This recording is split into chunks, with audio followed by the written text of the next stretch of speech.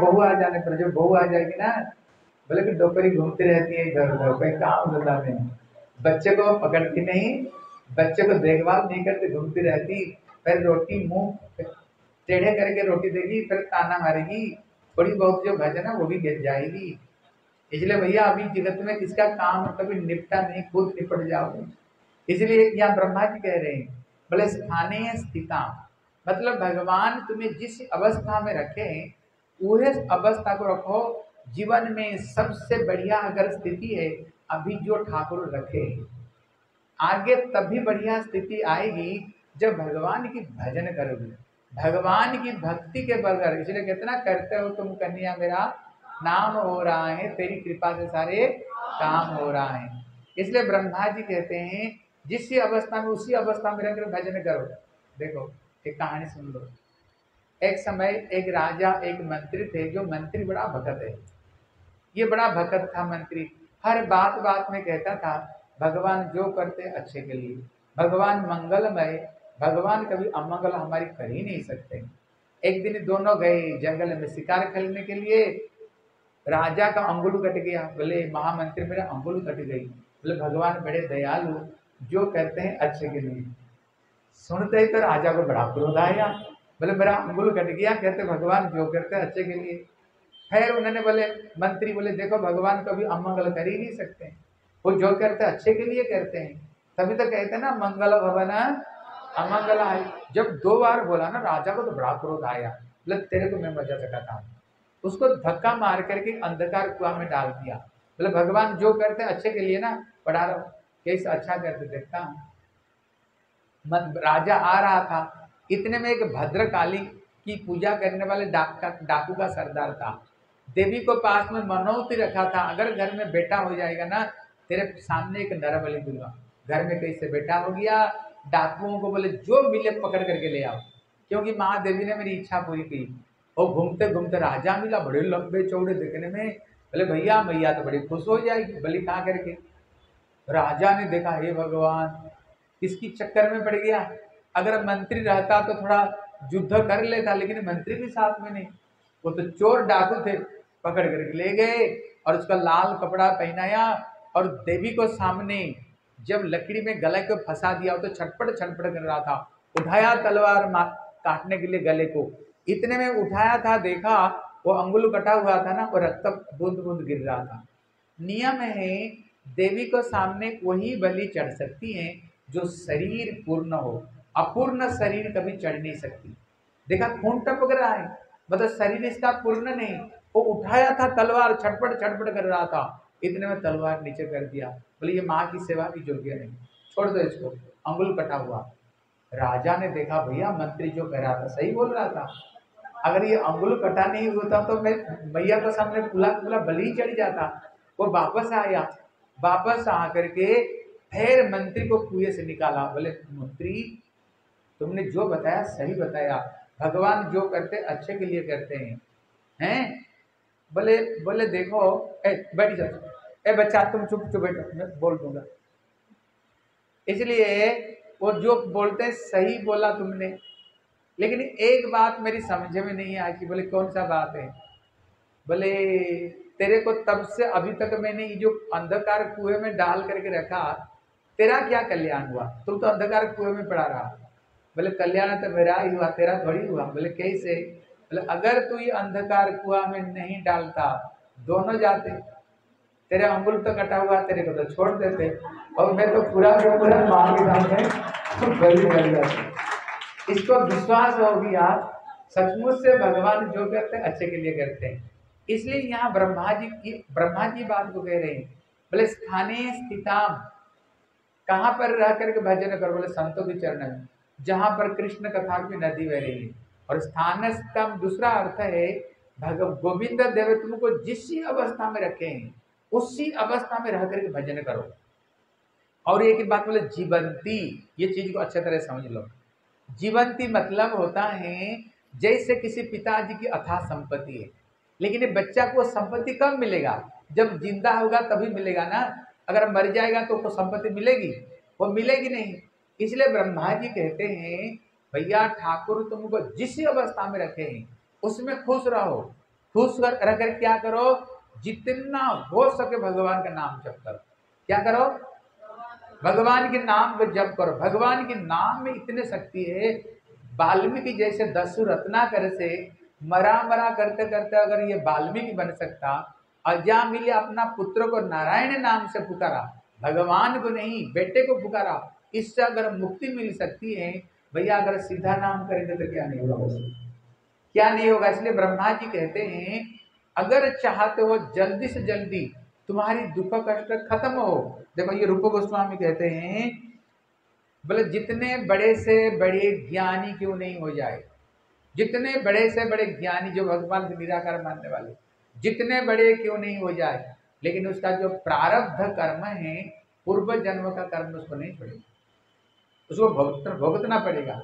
लेकिन वो कहते हैं, भगवान के नाम जो जप करते हैं, ठाकुर जी का नाम जो जप करते हैं ना, भैया, इसके सारे कर्म फल चुटकी हो जाते ही खत्म हो जाए। चुटकी बजाते ही खत्म हो जाएगी इसलिए यहाँ कहते हैं, जितना हो सके, जितना हो सके, भगवान के नाम को जप कर।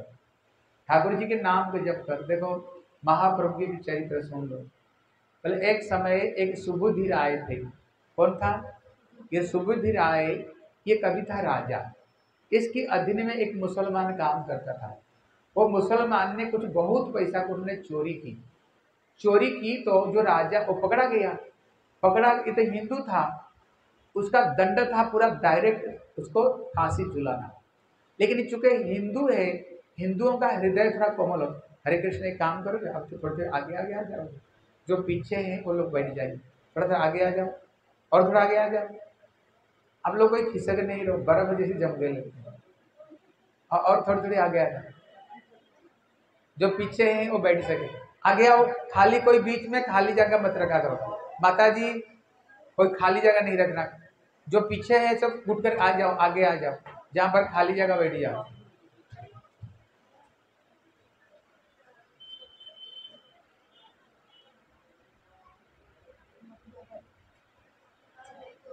बोले श्री वृंदावन भी जहाँ जगह मिलता वहीं पर बैठ जाओ। बोले श्री वृंदावन बिहारी लाल की, बोले, सचिनंदन गौर हरि की। हाँ ये कथा को याद करना मैं कल सुना, पूछूँगा सब। ठीक है? देखूँगा कौन मेरे को उत्तर दे पाता। अच्छे तरह से सुनो। ये कथा को याद कर लो। बच्चों, खाली हाथ में बैठो, क्या याद करोगे? घर में जाकर भूल जाओगे। हाँ? इसलिए हरे कृष्ण। कहते, एक दिन वो पकड़ा गया तो हिंदू राजा था। उसका जो दंड था, सीधा उसको फांसी झूलना। लेकिन वो हिंदू राजा होने का नाते उसको बोले, दंड तो तेरे को भोगना पड़ेगा, क्योंकि तुमने राजधन को तुमने चोरी की। उसने केवल उसको पीठ में एक कोड़े को मार, कोड़े मार कर छोड़ दिया। मतलब खबरदार आइंदा में कभी तुम ये चोरी नहीं करना। लेकिन भाग्य चक्र है। ऐसे करते करते एक बार क्या हुआ कि जो हिंदू राजा था कभी मुसलमान का आक्रमण होने पर अभी वो जो था कर्मचारी, वही बन गया राजा, भाग्य चक्र से। और ये बन गया प्रजा। ये राजा बन गया प्रजा। क्योंकि मुसलमान का अधिकार आ गया तो वो राजा बन गया, वो प्रजा। अभी वो राजा बनने पर उसका पत्नी बेगम, एक दिन उसको बेगम, उसको पीठ में तेल मालिश कर रही थी। और उसने देखा उसको पीठ में बड़ा कोड़े के दाग पड़ा हुआ, चमड़ा उठ गया था। तो पत्नी ने पूछा, ये क्या? बोले, कुछ नहीं। बोले, नहीं, कुछ तो है। ये बताओ क्या है? तो उनने सारे बात बताया। मैंने जब कर्मचारी था, मैंने बहुत धन दौलत तो मैंने चोरी की, पकड़ा गया। लेकिन जो सुबुद्धि रहा है, वो बड़े हिंदू राजा बड़े दयालु है। मेरे को प्राण दंड नहीं दिया। केवल के कोड़े मार कर छोड़ दिया। अभी तो मुसलमान पत्नी, बोले, अभी तो राजा बन गया। अभी उसका उसका प्रतिशोध लो। बोले, मैं नहीं ले सकता हूँ। क्योंकि उसने दया करके छोड़ दिया। बोले अगर नहीं लोगे ना, पत्नी लास्ट में क्या करते मैं जहर खाकर मर जाऊँगा। उनका बहुत बड़ी ये कि दवा है। कोई अगर हो तो मैं जहर खाकर मर जाऊँगा। अभी एक स्त्री हट है ना, स्त्री हट जानती कि नहीं? स्त्री अगर हट कर लेना पति लोगों को पता है कितने मनाना कठिन होता है। इसलिए वो तो हट लगती, मैं बोले, नहीं, अगर इसका प्रतिशोध नहीं लगे तो मैं प्राण त्याग दे दूँ बोले, देखो, एक काम कर सकती, कर सकता हूँ। उसको तो प्राण नहीं ले सकता और कुछ कर सकता, बोले तो जात ले लो। जात को ले लो, इसलिए उनको एक इतना बदना होता है, जो गैया की चमड़ा से बना हुआ, अगर उसमें पानी अगर पिला दो ना, फिर जात नष्ट हो जाती है, क्योंकि वो गो गैया की चमड़ा से बना हुआ, हिंदू कभी गैया मांस खाते ही नहीं, बोले इसका जात ले लो। उन्होंने उनका जात ले लिया। पहले धर्म धर्म में लोग बड़े पक्के होते थे, अभी का समय नहीं अपना धर्म कर्म छोड़ करके और किसमें घुस जाओ। प्राण चले जाएगा, लेकिन कभी धर्म को ही छोड़ता नहीं था। जब देखा मेरे को अपना जाति बदला दिया, उन्होंने बड़े बड़े ब्राह्मणों को पास में गए। बोले, बताओ, कैसे हमें मुक्ति मिलेगी?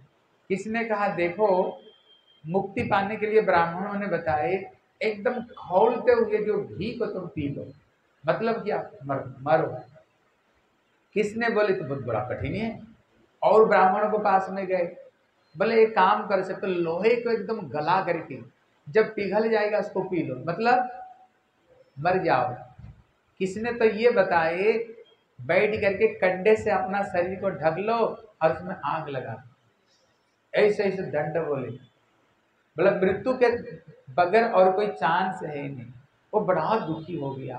बड़े लोगों को पास में गया। ऐसे भ्रमण करते करते श्री चैतन्य महाप्रभु के पास में पहुँचे भाग्य से। महाप्रभु का चरण में ये सारे बात बताए। महाप्रभु बोले, कुछ भी करने का तुम्हें ज़रूरत नहीं। कुछ भी करने का तुम्हें ज़रूरत नहीं। केवल दो काम करो, वैष्णव, सेवन और नाम संकीर्तन।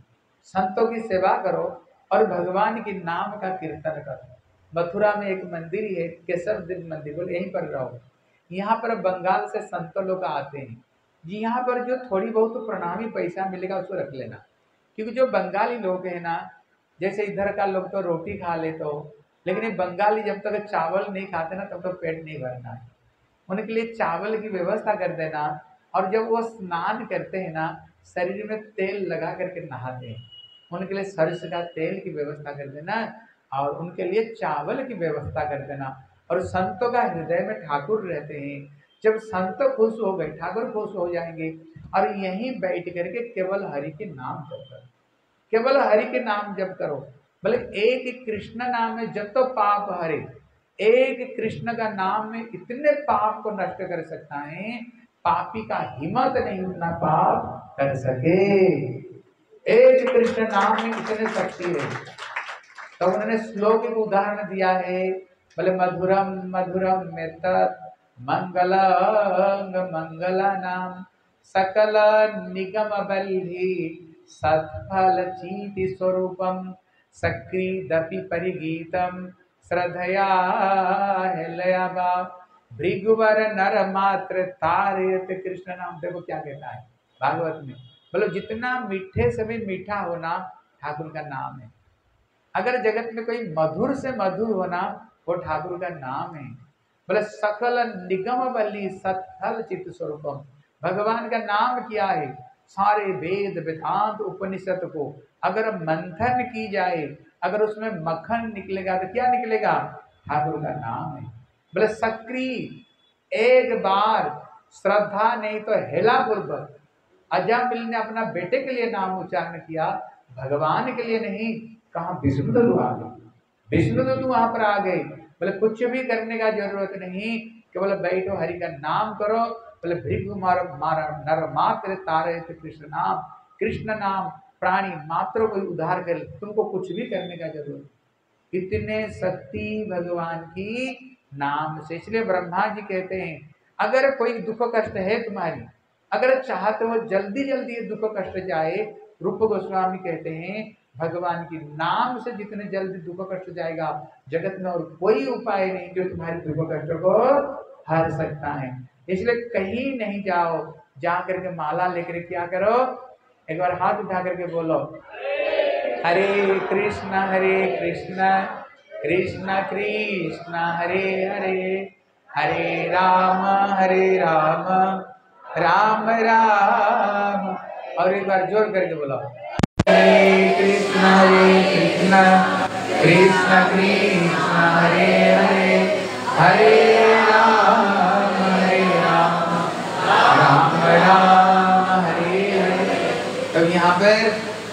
यहाँ पर बताए, देखो, एक व्यक्ति तीन जन्मों का पता लगा सकता है, कैसे? अपना जन्म से, अपना कर्म से पता लगा ठीक है ना? इसलिए यहाँ पर श्री विष्णु तो कहते, देखो जमदूत को बोले, उन्होंने जब भगवान का नाम लिया जमदूत ने कहा ज़िंदगी भर पाप कर्म किया, और अंतिम समय में एक बार नाम लिया, हो जाएगा? हो गया? बस ज़िंदगी भर पाप करो, अंतिम समय में अगर नाम ले लो, हो जाएगा?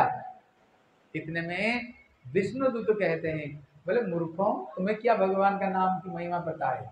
इसलिए कहते हैं ना, हरि से बड़ा, हरि का नाम, प्रभु से बड़ा, प्रभु हरि से बड़ा हरि प्रभु से बड़ा प्रभु का अंत में परिणाम अंत में निकला यह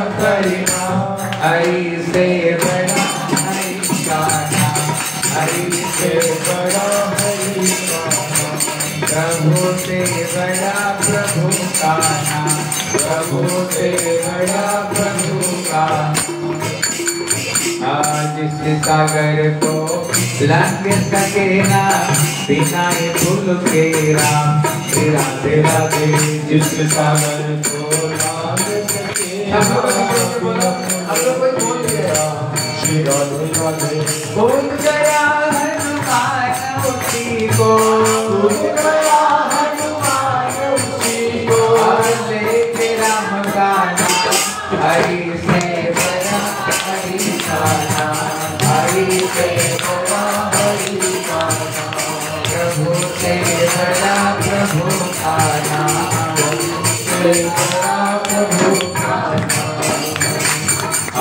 द्रौपदी ने जब नाम पुकारा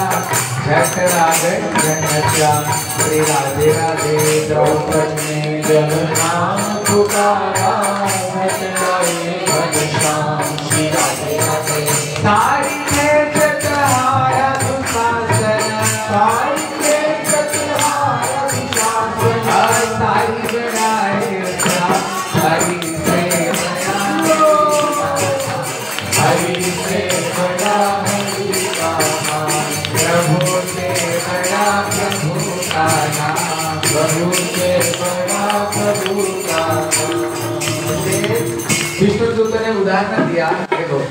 उदाहरण दिया, जैसे भूस का एक ढेर हो, नहीं तो रुई का एक ढेर हो। अब आग की एक चिंगारी अगर पड़ेगा तो क्या करेगा बताओ?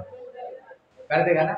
भैया, आग की एक चिंगारी में इतना शक्ति है, अगर पेट्रोल पंप है, पेट्रोल नहीं तो गैस है, आग की एक चिंगारी लगे, क्या होगा बोलो सारे जला करके राख बना देगा। अगर एक आग की एक चिंगारी में इतने शक्ति है जो भगवान की गोविंद देव का नाम ने इतना शक्ति नहीं किया है कि नहीं? इसलिए यहाँ जब विष्णु दूत ने कहा, उसने जब बेटा का नाम नारायण रख लिया था ना, वो सारे पाप से मुक्त हो गया था। लेकिन उसको बाद में बेटे को बारंबार बुलाया। बोले, बेटा नारायण इधर आ जा।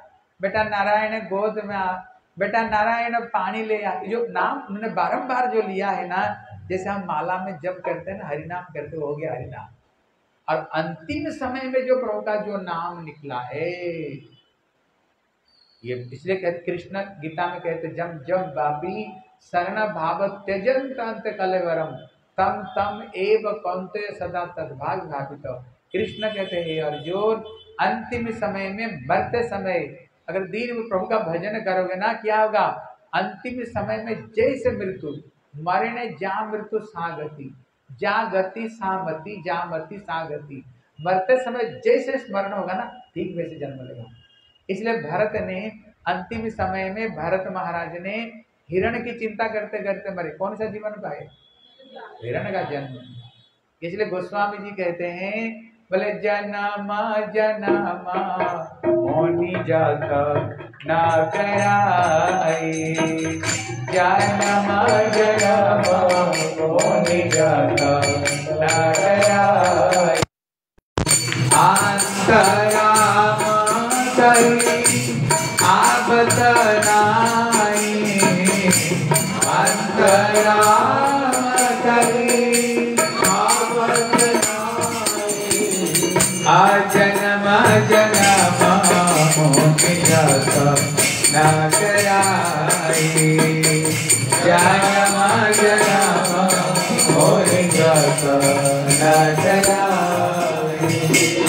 आप लोग हिंदी समझते हो कौन कौन हिंदी समझते हो हाँ देखो ये ये, पैर को अच्छे तरह से समझो इसमें दो अर्थ बताया कोई कोई कहते हैं ना भैया जब अजामिल ने अंतिम समय में एक बार अपना बेटे को नारायण बुलाया उठा उसको तो उधार हो गया इसलिए ज़िंदगी भर पाप करेंगे करेंगे और अंतिम समय में प्रभु का नाम निकाल ले। नाम निकल जाएगा। लेकिन देखो, गोस्वामी जी क्या कहते हैं? बोले, जन्म जन्म मुनि जतन कराए। कहते, ये मुनि लोग है ना, ये जन्म, जन्मांतर तक जत्न करने पर भी अंत राम कहीं आवत नहीं। अंतिम समय में प्रभु का नाम नहीं निकलता है ये एक अर्थ है। दूसरा अर्थ समझो। बोले, जन्म जन्म मुनि जतन कराए। जब मुनि लोग जन्म जन्मांतर तक जत्न करते हैं, तभी अंत राम कहीं, भैया, ज़िंदगी भर रील में जो भरा होगा ना, वही निकलेगा। आप सोचोगे ज़िंदगी भर उल्टा पुल्टा करेंगे, भक्ति नहीं करेंगे और बुढ़ापा में भगवान का नाम आ जाए। नहीं, जैसे देखना, एक बच्चा सीए करता नहीं तो इंजीनियरिंग डॉक्टर करता है। पच्चीस साल तक पढ़ाई करता है, पच्चीस साल तक।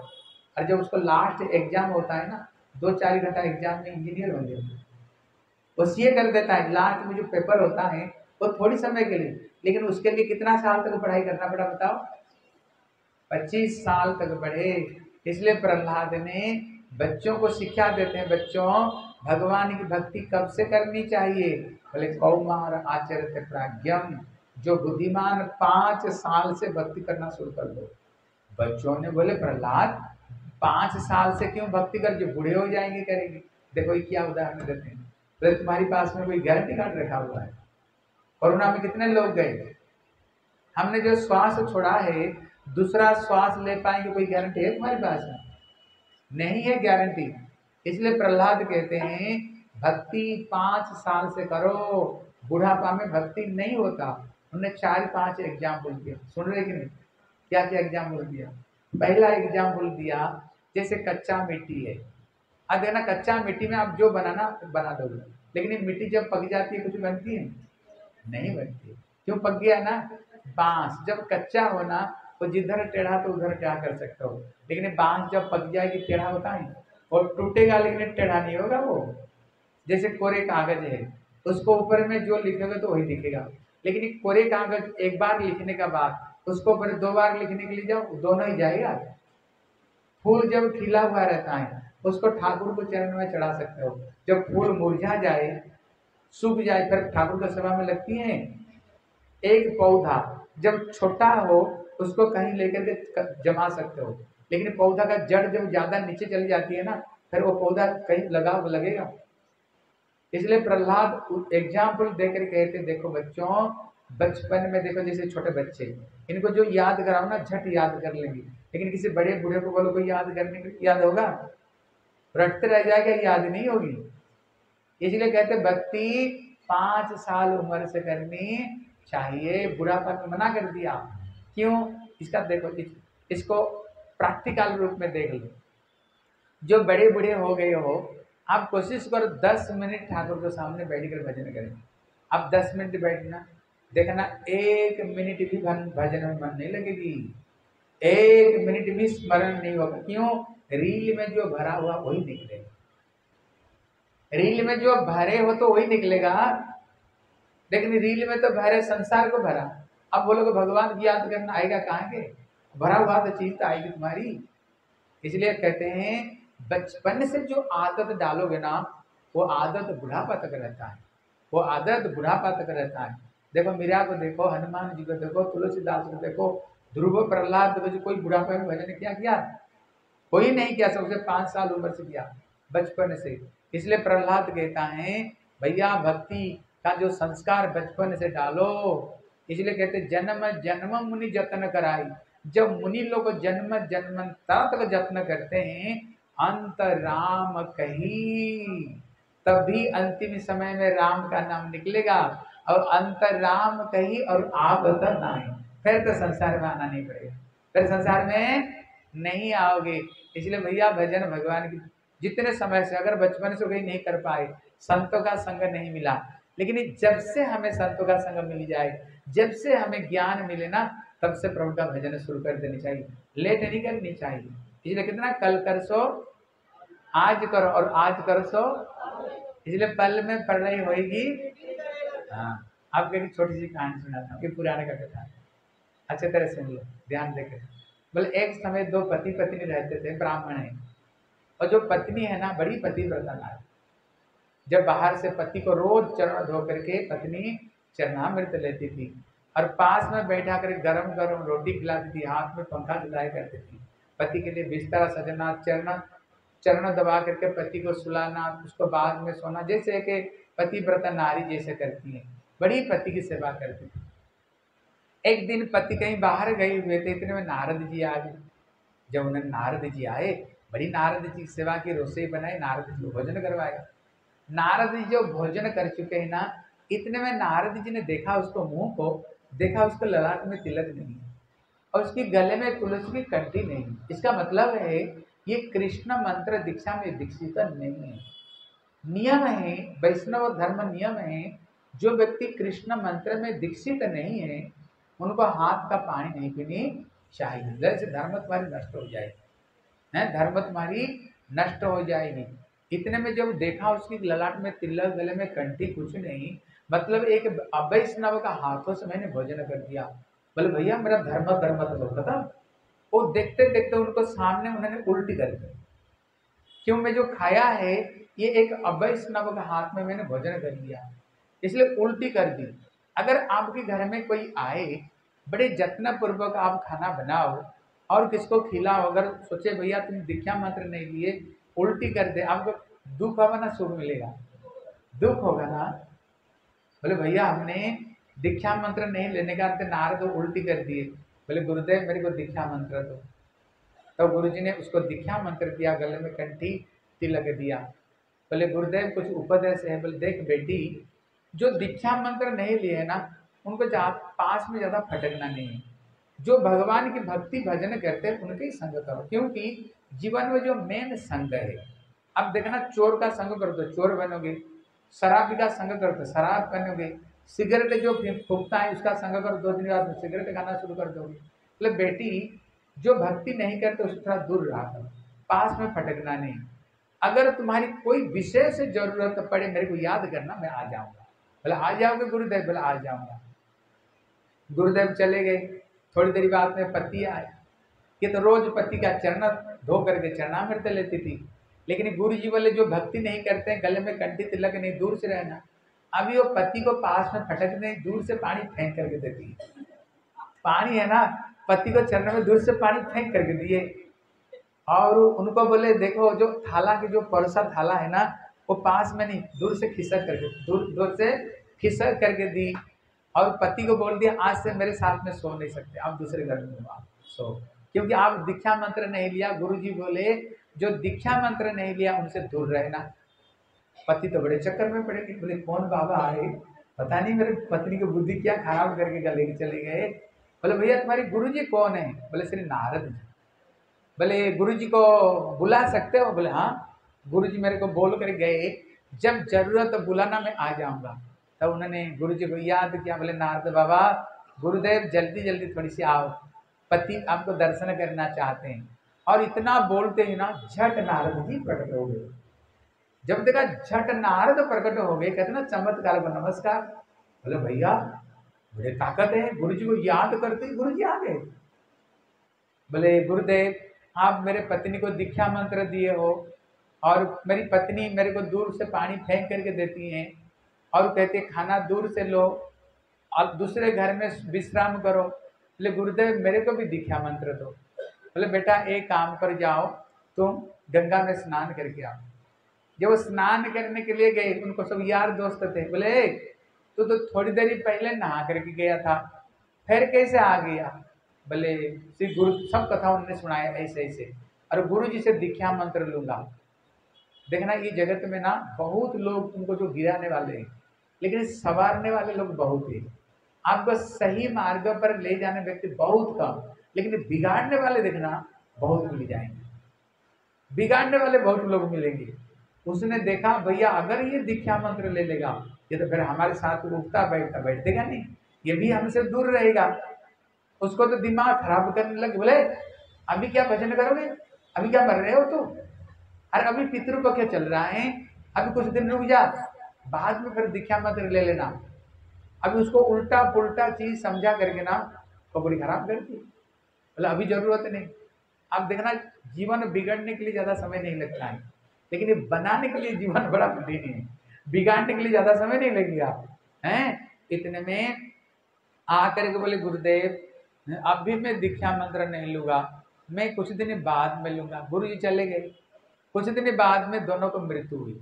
जब मृत्यु हुई, ये शंकर जी पार्वती को कहते हैं, बोले, दीक्षा विहीनस्य, हैं? बोले, गुरु दीक्षा विहीनस्य। जो व्यक्ति गुरु दीक्षा ग्रहण नहीं करते हैं, बोले, पशु, जोनी शंकर कह रहे पार्वती को। बोले, समस्त उसको क्रिया जो गुरु दीक्षा ग्रहण नहीं किया गल में कंठी तिलक नहीं, उसका सारे कर्म निष्फल हो जाता है। ये शंकर जी कह रहे हैं, बोले, पशु जुनी मापनुआत अगले जीवन में उसको जानवर जीवन में जाना पड़ता बोले, क्यों? देखो, ये चीज़ को समझो। ये जो शरीर है हमारी, गोस्वामी जी कहते हैं, क्षिति जल न समीरा, पंचरचित, यह आध। मा शरीरा। गोस्वामी जी कहते हैं कि जो शरीर पाँच हिस्से बनी हुई है, मिट्टी, वायु, आकाश, अग्नि, जल से। इसलिए कहते हैं पंच रचित ये अधम शरीर है। पेट में क्या बताओ टाटी, पेशाब, खून पिक कुछ छोड़ा और कुछ है। दो घंटा ब्यूटी पार्लर में जाओ। बढ़िया से सद धज करके, गर्मी का समय हो, पाँच मिनट बाहर निकलो, रोम रोम से बदबू निकलना शुरू हो जाती है। सवेरे देखो, आँख से बदबू, मुँह से बदबू नीचे से तो बदबू बदबू निकलती है। है कि नहीं? इसलिए ये शरीर अपवित्र है। लेकिन ये पवित्र कब बनेगा? तो जब हम दीक्षा मंत्र लेते हैं, शंकर जी कहते हैं, गुरु दीक्षा भी नाजे हैं? जो गुरु दीक्षा ग्रहण नहीं करता है, उसको शरीर पवित्र नहीं होता है। पशु जो नहीं अपनुआ देखो क्या हुआ। विदर्भ देश में, चूँकि इसने दीक्षा मंत्र ली थी, विदर्भ देश में राजकुमारी बनकर की जन्म उसकी पत्नी। और इतने सुंदरी बनकर के जन्म हुई सारा दुनिया तरस उनको पाने के लिए, विश्व सुंदरी बन करके। और बचपन में जो भक्ति है ना, वो कभी घटेगी नहीं तुम्हारी। इसी जीवन में जितने भक्ति करती हो, कितना दीना दीना बड़ा तो सबायो पायो जी मैंने। राम रतन धन पायो। ये जो भगवान की जो संपत्ति, भक्ति कभी घटेगी नहीं, अगली जीवन में बढ़कर के प्रकट होगी इसलिए अगले जीवन में वो बचपन से भक्ति करना शुरू की। बड़ी सुंदर थी, लेकिन उसका पति ने दीक्षा मंत्र नहीं लिया। उसी राज्य में हाथी बनकर जन्म हुआ। क्या बन करके हाथी बन करके राज्य में जन्म हुआ। लेकिन वो भी राजा घर में जन्म हुआ, हाथी बन करके और राजा घर में नियम है, लड़की जब बड़ी हो जाए तो स्वयंवर सभा होता है। बड़े बड़े राजा लोग आए, क्योंकि देखने में बड़ी सुंदर थी। दुनिया उसको पाना चाहती थी। अभी ये राजकुमारी हाथों में माला लेकर के ढूंढ रही है, मैं किसकी गले में ये माला डालू इतने में हठात उसने देखा सामने हाथी खड़ा हुआ। पूर्व जन्म का पुण्य था, सुकृत थी, वो हाथी को देख करके पहचान गई, ये तो मेरी पूर्व जन्म के पति है। लेकिन उन्होंने गुरु जी से दीक्षा मंत्र नहीं लिए, इसलिए ये हाथी जीवन में आए। वो माला लेकर के किया कि हाथी की गले में पहना दी। जब हाथी की गले में पहना दी, जितने राजा लोग थे, बोले, ये क्या? इतने सुंदर सुंदर राजकुमार रहते हुए वो हाथी गला में माला पहनाई? राजा ने बोले, बेटी, तुमने ये क्या किया? बोले, पिताजी, ये पूर्व जन्म में मेरे पति थे। नारद जी घर में आकर के मेरे को दीक्षा मंत्र दिया है। इसलिए मैं भजन की है। इसलिए विदर्भ देश से तुम्हारी बेटी बन करके आई। लेकिन ये पति ने दीक्षा मंत्र नहीं लेने का वजह से इनको ये हाथी जीवन लेना पड़ा, ये मेरे पति। बोले, बेटी, बताओ, अभी क्या करोगे? हाथी में थोड़ी शादी करोगे। बोले, गुरु, पिताजी, मेरे गुरु जी ये भी बताए थे, जब ज़रूरत है ना, मेरे को बुलाया मैं आ जाऊँगा। बोले, बेटी, बुलाओ गुरु जी को। तब तो उन्होंने स्मरण किया, नारद जी को। स्मरण करते ही ना, झट यहाँ पर नारद जी प्रकट हो बोले, बेटी, क्या बोले ऐसे ऐसे बात है। मेरे पति को मेरे कृपा को लेकिन नारद तो समर्थ संत है।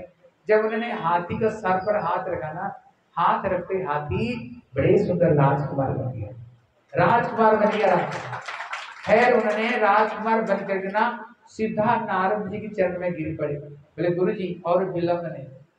मेरे को दिखा मंत्र अगले जीवन में असत संग से मेरी बुद्धि बदल गया था, इसलिए मेरी हाथी जीवन हुआ है।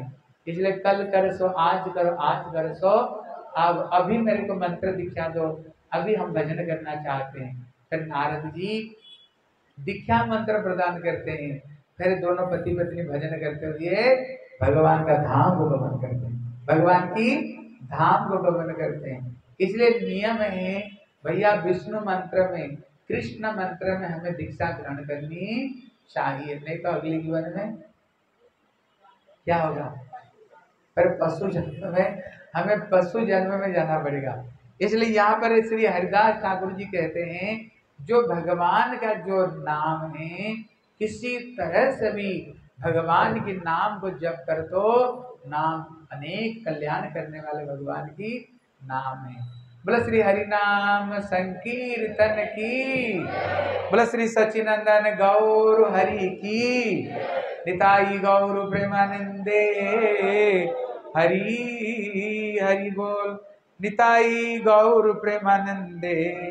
हरि हरि बोल। हाँ एक भजन गा लो बढ़िया। वृंदावन धाम पार रटे जा राधे राधे वृंदावन धाम पार रटे जा राधे राधे रटे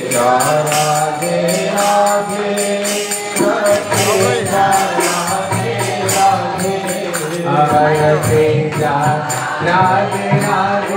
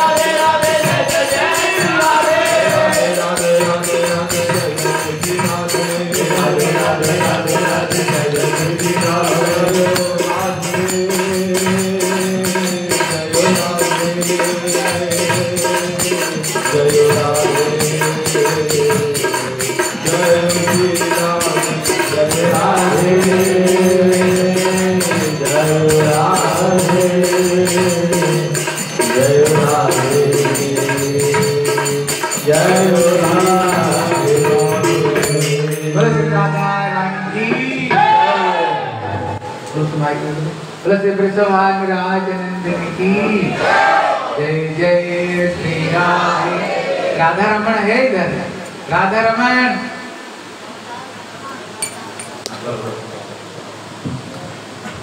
गुरुवे गौरचन्द्राय श्री राधिका राधिकाविष्टदालय कृष्णाय कृष्णभक्ताय तद्भक्ताय नमो नमः। जतिन है वाञ्छाकल्पतरुभ्यश्च कृपा सिन्धुभ्यश्च जतिन है जतिन पतितानां पावनेभ्यो वैष्णवेभ्यो नमो नमः। बोलो दोनों हाथ श्री कृष्ण चैतन्य प्रभु श्री अद्वैत गदाधर श्रीवासादि गौर भक्त वृंद बोल हरे कृष्ण। हरे कृष्ण कृष्ण हरे हरे राम हरे राम। राम राम, हरे हरे। सर्वप्रथम अपने हृदय गुरुपाद प्रथम ओम विष्णुपाद अष्टोत्तर श्री श्रीमद भक्ति वेदांत श्रीधर गोस्वामी गुरुदेव महाराज जी के अभय चरणार्जुन में प्रणिपात करते हुए उनकी हरित की कृपा वांछा करता हूँ, तत्पश्चात मेरे परम गुरुदेव नितल्ला प्रविष्टम संपाद श्री श्रीमद भक्ति श्री रूप सिद्धांत गोस्वामी गुरुदेव महाराज जी के अभय चरणार्जुन में प्रणिपात करते हुए उनकी भी की कृपा वांछा करता हूँ। तत्पश्चात मित्रला प्रविष्टम संपाद अष्टोत्तर शत श्री श्रीमदभक्ति वेदांत नारायण गोसाई महाराज जी के अभय चरणार्जुन में प्रणिपात करते हुए उनकी भी हरेतु की कृपा वांछा करता हूँ तत्पश्चात सुंदर पाल जी के चरणों में भी मैं दंडवत प्रणाम करता हूँ तत्पश्चात उपस्थित वैष्णव वैष्णवी सभी के चरणों में दंडवत प्रणाम स्वीकार करता हूँ चैतन्य चरितामृत का एक, चैतन्य चरितामृत में तैयार लिखते हैं कि चैतन्य लीला अमृतपुर, कृष्ण लीला सो कर्पूर रोहू मिले वही सो माधुर्य और साधु गुरु प्रसादे, तहाँ जे आस्वादे से जाने, सो माधुर्य प्राचुर्य जो ये चैतन्य लीला है, ये कैसी है? ये अमृत के समान है। तो एक बार शास्त्र में प्रश्न उठा कि अमृत कहाँ मिलेगा? तो अलग अलग विद्वान मंडली कहती है अभो विधो वधुमुखे परिणाम निवासे, स्वर्गे सुधा वस्तिर विभुधा वदंती जो विभुत लोग हैं, जो पंडित लोग हैं, विद्वान लोग हैं, जो पंडित लोग हैं, वो अलग अलग अपना मत मत मत देते हैं कि सबसे पहले अमृत कहाँ मिलेगा? अब्धो मतलब महासागर का। जब आप भागवतम की कथा सुनते हो तो सप्तम स्कंद में आता है ना कि अमृत कहाँ है महासागर में अलग अलग कच्छप अवतार थोड़ी आवाज़ बढ़ा दो तो अपना तो सबसे पहले आप धो आप तो बोलो तो सबसे पहले आप धो तो महासागर में अमृत मिलेगा तो आप सप्तम स्कंद में देखोगे जब कच्छप अवतार भगवान ने लिया तो उसमें से अनेक अनेक रत्न प्र- अने- अनेक अनेक रत्न मिले मणि लक्ष्मी जी उसी से प्रकट हुई तो उसमें से अमृत भी निकला। तो पहला विद्वान कहता कि अमृत कहाँ है? महासागर में। तो दूसरे से पूछा दूसरा कहता है विधो मतलब अमृत कहाँ है? चंद्रमा पे। जो ऐसा मत है कि जो चंद्रमा के वासी है, वो सोमरस का पान करते हैं। वो अमृत का पान करता है। तो दूसरा विद्वान कहने लगा कि अमृत कहाँ है? चंद्रमा पे। तीसरा कहता है कि अधो विधो वधुमुखे। जो अमृत है, वो वधुमुख है।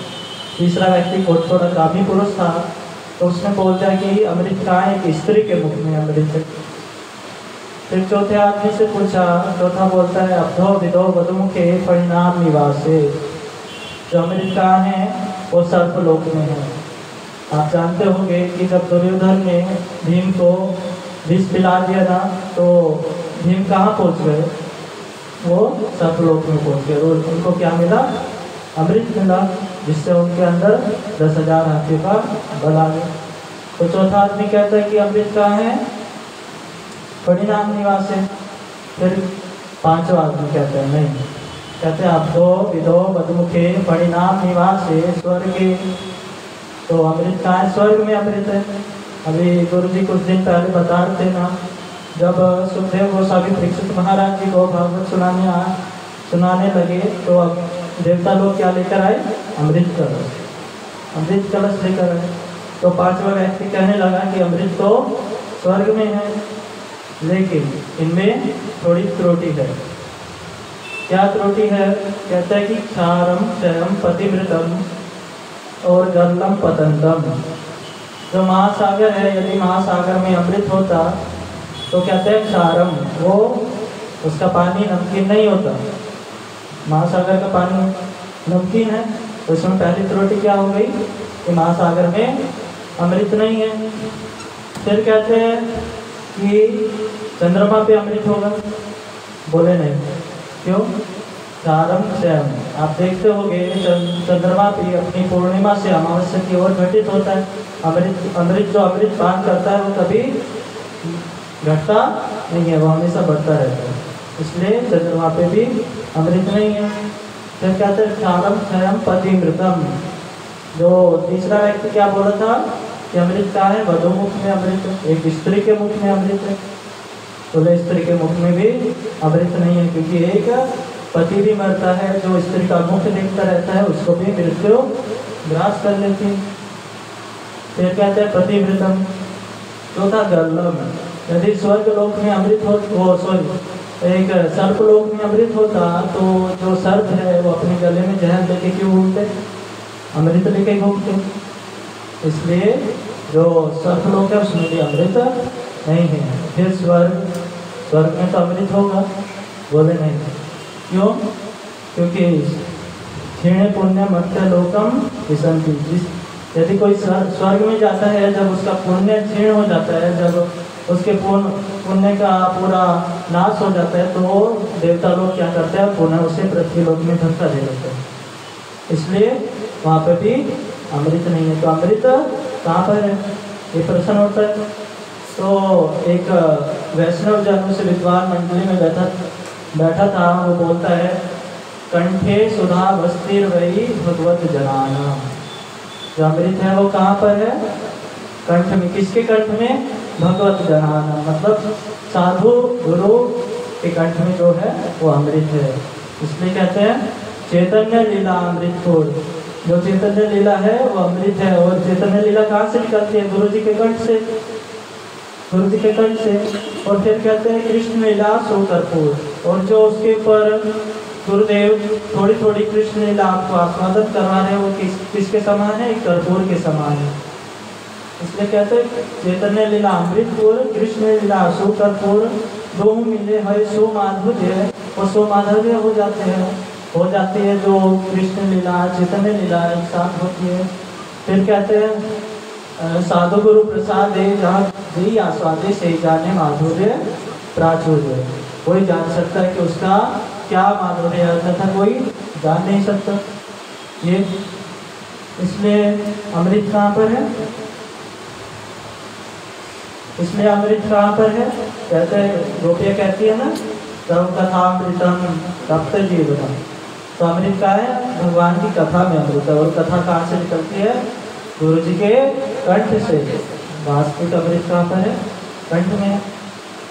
इसलिए कथा अमृत होगी नामामृत हो गया। एक नाम भी अमृत है। तो हमारे भक्ति विनोद ठाकुर, हम सुबह मंगला आरती करते हैं, उसमें लास्ट में लाइन आती है कि नाम सुधारस, राव कृष्ण रस राख वचन, मनमोहन। नाम क्या है? एक आज जो संत तुलसीदास है, उनका आज आविर्भाव भी है। तो वो नाम के विषय में क्या बोलते हैं, थोड़ा सुन लेते हैं कि तुलसीदास जी का जब अंतिम समय आया, जब वो अपने परम धाम को गमन करने लगे तो तुलसीदास जी के शिष्य थे जो, उन्होंने तुलसीदास जी से पूछा कि यदि आप अपने जीवन का साथ देना चाहो, इतना आपने ज्ञान अर्जन किया, आपने इतना अपने शास्त्रों की रचना की, यदि आप अंतिम में कुछ कहना चाहो तो क्या करोगे?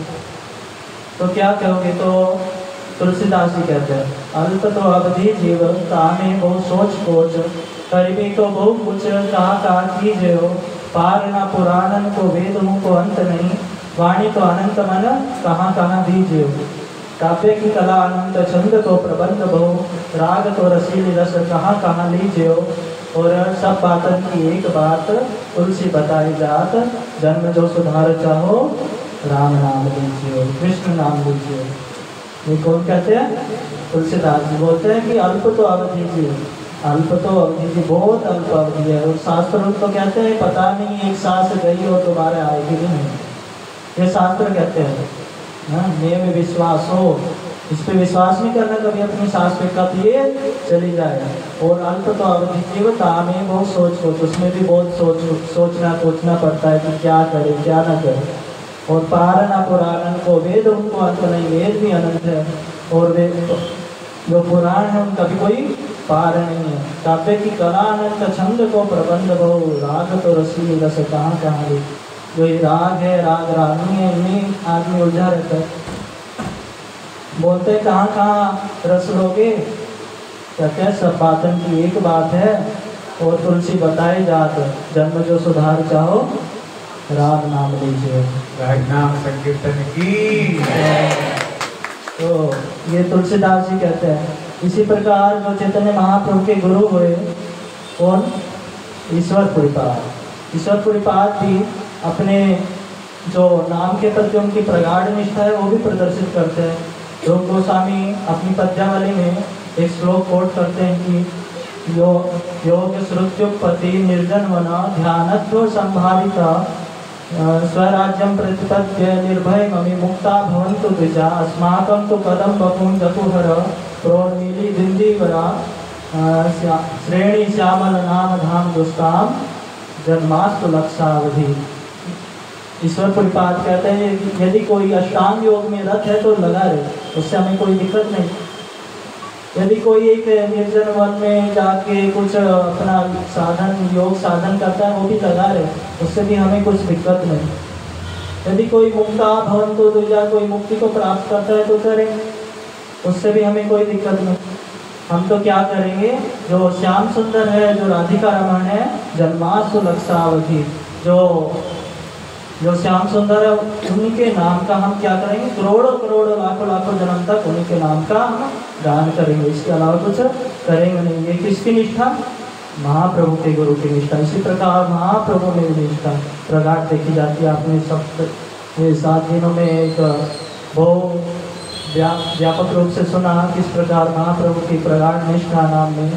तो ये नाम सब पाचन की एक बात है। तुलसी बताई जाते हैं। और जन्म जो सुधार चाहो, राम नाम लीजिए। इसके अलावा कुछ? प्रपात रसभ्यो मम ज्ञानतिमिदान्तस्य ज्ञानञ्जनशलाकया चक्षुरुन्मिलितं येन नमः। गुरुवे गौरचन्द्राय श्रीराधिकाय तदालये, कृष्णाय कृष्णभक्ताय तद्भक्ताय नमो नमः। नमो विष्णुपादाय श्रीराधिकाय प्रियात्मने, श्री श्रीमद्भक्तिवेदान्त श्रीनारायण गोस्वामी इति नामिने।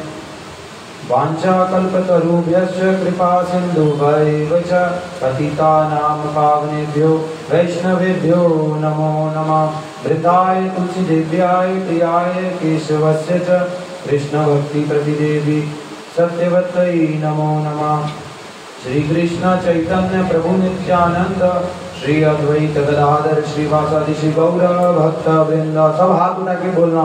बोलो, हरे कृष्णा हरे कृष्णा कृष्णा कृष्णा, हरे हरे हरे राम हरे राम राम राम, हरे हरे। हम सब लोग पिछले सात दिनों से, आज सातवां दिन है, पिछले छह दिनों से श्रीमन चैतन्य महाप्रभु की कथा को, कथा का अमृत हमारे शिल गुरु जी के मुख से हम पान कर रहे हैं। अब बहुत सारे हमने प्रसंग सुने। अब प्रश्न ये है, सिंपल सा महाप्रभु की कोई कथा का ही प्रसंग है कि महाप्रभु की लीला में प्रवास प्रवेश करने के लिए हमारे को क्या योग्यता चाहिए? क्या योग्यता चाहिए? इसको एक छोटे से प्रसंग से बताना चाहूँगा। महाप्रभु का संकीर्तन रास चल रहा था। अब संकीर्तन रास में जो श्रीवास आँगन, नवदीप में एक जगह श्रीवास आँगन, मायापुर में तो वहाँ पे महाप्रभु का संकीर्तन रास होता था। अब वहाँ श्रीवास जी सब कुछ करते थे। श्रीवास जी सब कुछ मैनेज करते थे। जो जो महाप्रभु को नीड होता था, जो भी होता था, श्रीवास जी सब व्यवस्था करते थे। तो एक दिन बहुत, एक ब्राह्मण आया। वो ब्राह्मण आया, उस ब्राह्मण ने पूरे जीवन केवल दूध पिया। पूरे जीवन कुछ भी नहीं खाया, केवल दूध पिया। श्रीवास जी देखे, अरे वाह, ये तो बहुत बड़ा पंडित है। ये तो महाप्रभु के मतलब महाप्रभु तो बहुत प्रसन्न होंगे। तो श्रीवास ने क्या करा? उनको अंदर ले लिया। अब महाप्रभु का संकीर्तन रास स्टार्ट हुआ। अब जैसे महाप्रभु संकीर्तन रास करने लगे तो महाप्रभु बोले, श्रीवास, आज आनंद नहीं आ रहा मुझे। पता नहीं क्या कोई बाहर का व्यक्ति आया है, कोई आया है? तो श्रीवास जी बोले, अरे नहीं नहीं, महाप्रभु, कोई नहीं सब तो अपने ही व्यक्ति है जो हैं। आप तो करिए ना। तो वापस महाप्रभु करने लगे, लेकिन महाप्रभु पुनः बोले, नहीं, श्रीवास, आज मुझे आनंद नहीं आ रहा है। आज कोई बाहर का व्यक्ति आया तुमने देखा? तो श्रीवास जी ने बोला, महाप्रभु, बाहर का तो व्यक्ति क्या कहेंगे उसको? एक ब्राह्मण आए हैं। और वो ब्राह्मण बहुत श्रेष्ठ ब्राह्मण है। तो महाप्रभु ने बोला अच्छा क्या करता है वो? तो श्रीवास जी ने बोला, महाप्रभु, पता है उसने अपने पूरे जीवन केवल दूध पिया है, केवल दूध। दूध के अलावा कुछ किया ही नहीं है। सोचो, इतना बड़ा ब्राह्मण आया है। तो फिर महाप्रभु ने बोला, नहीं, इनको संकीर्तन रास में प्रवेश नहीं है। अब इससे महाप्रभु ने क्या शिक्षा दी? केवल दूध पीने से, केवल भोजन छोड़ने से महाप्रभु की भक्ति मिलती नहीं। महाप्रभु के संकीर्तन रास में प्रवेश मिलता नहीं। क्या करने से? अप्रवेश मिलता है। लोग घर छोड़ते हैं, कितनी चीज़ें करते हैं, ये सब चीज़ें गौण रूप में ये चीज़ें हमारे लिए सहायता करती है, लेकिन ये सब गौण रूप में मुख्य चीज़ क्या है? मुख्य चीज़ मुख्य चीज़ यही है कि महाप्रभु के आनुगत्य में जो भक्त लोग हुए हैं, महाप्रभु की शिक्षाओं को धारण करने वाले जो भक्त लोग हुए हैं, उनके चरणों में हमें शरणागत होना है। तब जाके हमें महाप्रभु के चरणों में प्रवेश मिलेगा। ऐसा है नहीं, आपको दूध पीने से आपने बहुत वैराग्य किया, बहुत ये किया, उससे कुछ होगा नहीं। हमारे सुंदर गोपाल प्रभु कहते हैं कि कृष्ण के धाम में ज़्यादा वैराग्य चलता नहीं है। केवल क्या चलता है? ब्रजवासी लोग, केवल क्या चलता है? कृष्ण से प्रेम, मधुमंगल, कृष्ण के लिए कृष्ण ने बोला अपने सभी सखाओं को कि आज हम कुलीन भोजन करेंगे। सब साथ में मतलब पिकनिक मनाएँगे। सब अपने घर से कुछ ना कुछ कृष्ण के लिए ला रहे हैं। कुछ ना कुछ थोड़ा थोड़ा थोड़ा। अब मधुमंगल अपने घर गया। मधुमंगल देखा घर पे तो कुछ है ही नहीं। तो क्या थी? खट्टी छाछ थी। तो मधुमंगल, चलो ले गया खट्टी छाछ ठीक है, चलो ले, चल चलते हैं। अब कृष्ण ने सबका थोड़ा थोड़ा थोड़ा थोड़ा सबका खा लिया। हम मधुमंगल के पास आए मधुमंगल को बोले, क्यों बे? तू मेरे लिए कुछ लाया क्या? तो मधुमंगल बोला, नहीं नहीं, कृष्णा, मैं तो कुछ ही नहीं लाया। अब इतनी देर में देखी कृष्ण ने, उसके पास कोई बोतल पड़ी है। अब जैसे कृष्ण ने देखी, मधुमंगल ने पूरी बोतल घटाक करके पी ली और मुँह ऐसे भर गया उसका, मधुमंगल का मुँह। अब कृष्ण ने क्या करा? मधुमंगल के दोनों गाल पे ऐसे मारा और वो जो पूरी छाछ निकली, कृष्ण खुद पी गए। ये ब्रजवासियों का प्रेम है। तो जब मधु गुरुजी ने, गुरु, गुरुजी ने कल सुनाया था। कल सबने सुना था ना कि किस प्रकार गोपियों ने नारद जी को क्या बोला? अरे भाई, थैला वैला लाए हो, नहीं लाए? कृष्ण के सर दर्द हो रहे हो, तुम थैला लाए हो, लो, तुम चरण रख लो। लो, रगड़ रगड़ के अपनी चरण रख दे दी।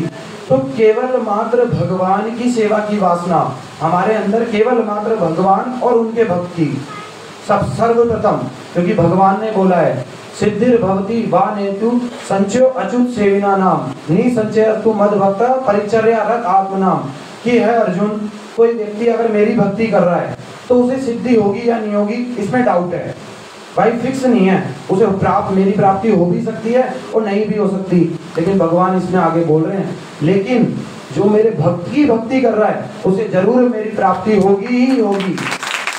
और मैं हमेशा जब भी मैं कहीं कथा करता हूँ मतलब मैंने गुरु जी से सुना है आ, तीन चीज़ें हमारे को इस दुनिया में सबसे रेयर है।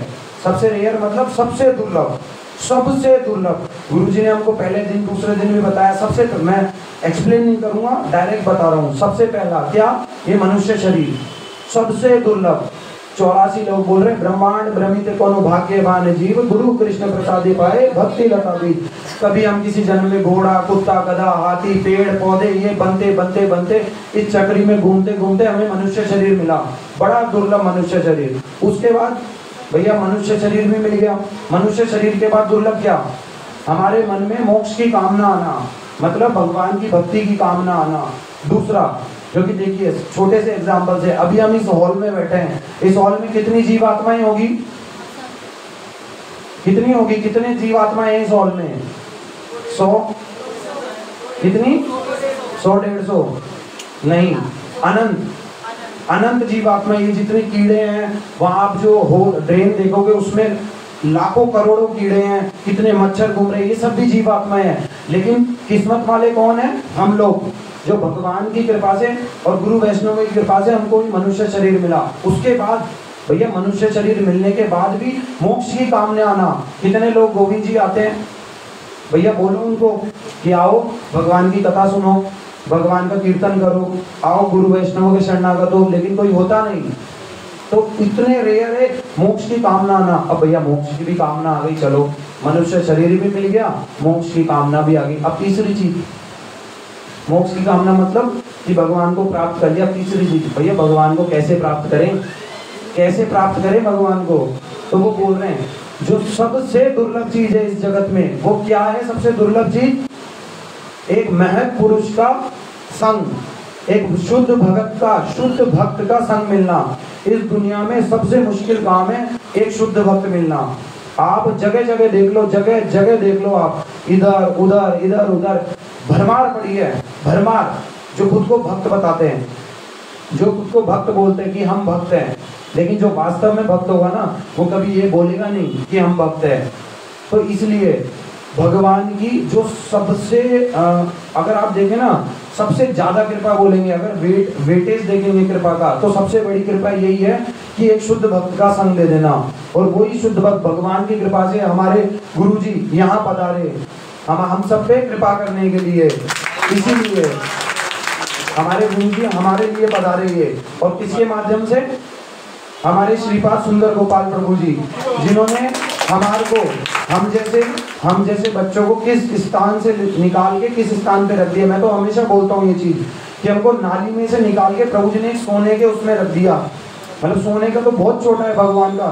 हमें गुरु गुरु जी के चरणों में रख दिया। वरना हमारी क्या योग्यता? तो इसलिए ये सब ये सब आप जितना भी ये चीज़ें देखते हैं ना, हमारे गुरु वर्गो की, ये किसके आदर्श है? ये श्रीमन चैतन्य महाप्रभु के आदर्श ही है, ये सारे। चैतन्य महाप्रभु जब गया वृंदावन जा रहे थे साउथ के जंगलों में जा रहे थे तो उन्होंने जिस भी व्यक्ति को देखा सबको कृष्ण नाम दिया। बोले, पात्र पात्र, विचार, नाई नाई, स्थान स्थान। जे जहाँ देखे था करे प्रेम दान। अरे भैया, कोई पात्र का विचार नहीं किया। ये ब्राह्मण है, क्षत्रिय है, वैश्य है, शूद्र है। ये क्या है? ये कुछ विचार किया नहीं। ना ही स्थान स्थान। भैया, विचार का स्थान नहीं किया। कोई हॉल में बैठे हैं, कोई दस करोड़ की भागवत कथा हो रही है, कोई बड़ा पंडाल लगाया है, कोई क्या हो रहा है, स्थान का भी विचार नहीं किया। जय जहाँ देखे था करे प्रेम दान। जिसको जैसे देख रहे हैं जिसको जिस अवस्था में देख रहे हैं, घोड़ा हो, हाथी हो, शेर हो, सभी जीवात्माओं को महाप्रभु ने प्रेम प्रदान किया। उसी की तरह, उसी परंपरा को लेकर हमारे गुरुवर भी कभी इन चीज़ों का विचार करते नहीं। हमारे गुरुवर्गों का क्या उद्देश्य रहता है? एकमात्र एकमात्र यही उद्देश्य रहता है कि सभी लोग कृष्ण भक्ति में लगे। ये न के न प्रकार है ना मन कृष्ण प्रवेश ये न के किसी प्रकार से हमारा कृष्ण में मन जाए। अभी मैं कुछ समय पहले मैंने एक बहुत अच्छी बात सुनी। एक भक्त था, वो हमारे शिला भक्ति विज्ञान भारती गोस्वामी महाराज जी के पास आया और वो बोला, महाराज जी, हम तो इतनी कथाएँ सुनते हैं, इतनी कथाएँ सुनते हैं, हमारा तो कुछ चेंज होता ही नहीं है। इतनी मालाएँ कर रहे हैं, कुछ फ़र्क पड़ता ही नहीं है महाराज जी, क्या बताएँ? आपने बोला, माला करो, आपने बोला, कथाएँ सुनो, कथा करो, ग्रंथ पढ़ो, हमारे तो कुछ असर हो रहा है, होता ही नहीं है। तो हमारे महाराज जी ने सिंपल सा एक प्रैक्टिकल उदाहरण बताया, देखिए। महाराज जी ने बोला कि तुम स्नान करते हो या नहीं करते? बोले, महाराज जी हाँ करते हैं। बोले, कितनी बाल्टी से करते हो? बोले, महाराज जी, एक बाल्टी तो कम से कम लेता ही हूँ, एक बाल्टी पानी लेता हूँ, उससे नहाता हूँ।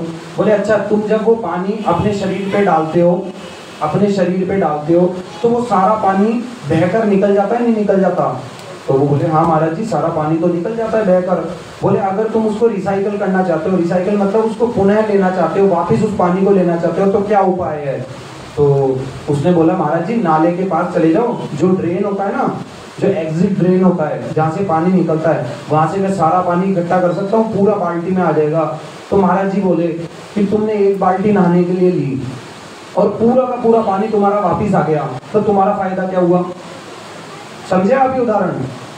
तुमने एक बाल्टी पानी नहाने के लिए ली, अब तुमने सारा का सारा अपनी बॉडी पे डाला, वो बह के सारा का सारा निकल गया। अब ड्रेन से तुमने रिसाइकल कर लिया, वापस तुमने बाल्टी में भर लिया। तुम्हारा क्या फ़ायदा हुआ नहाने से? तुम्हारा तो समय व्यर्थ गया। क्या हुआ? तो उसने उसने बोला, महाराज जी को महाराज जी, मुझे तो एक रिफ्रेशमेंट आई। मुझे एक रिफ्रेशमेंट फील हुई। मुझे बहुत अच्छा लगा। मुझे बहुत स्वच्छ लगा। तो महाराज जी ने बोला, ऐसे ही ऐसे ही, जैसे पानी गिरने से अगर वास्तव में देखे, सारा पानी तो बहकर जाता है।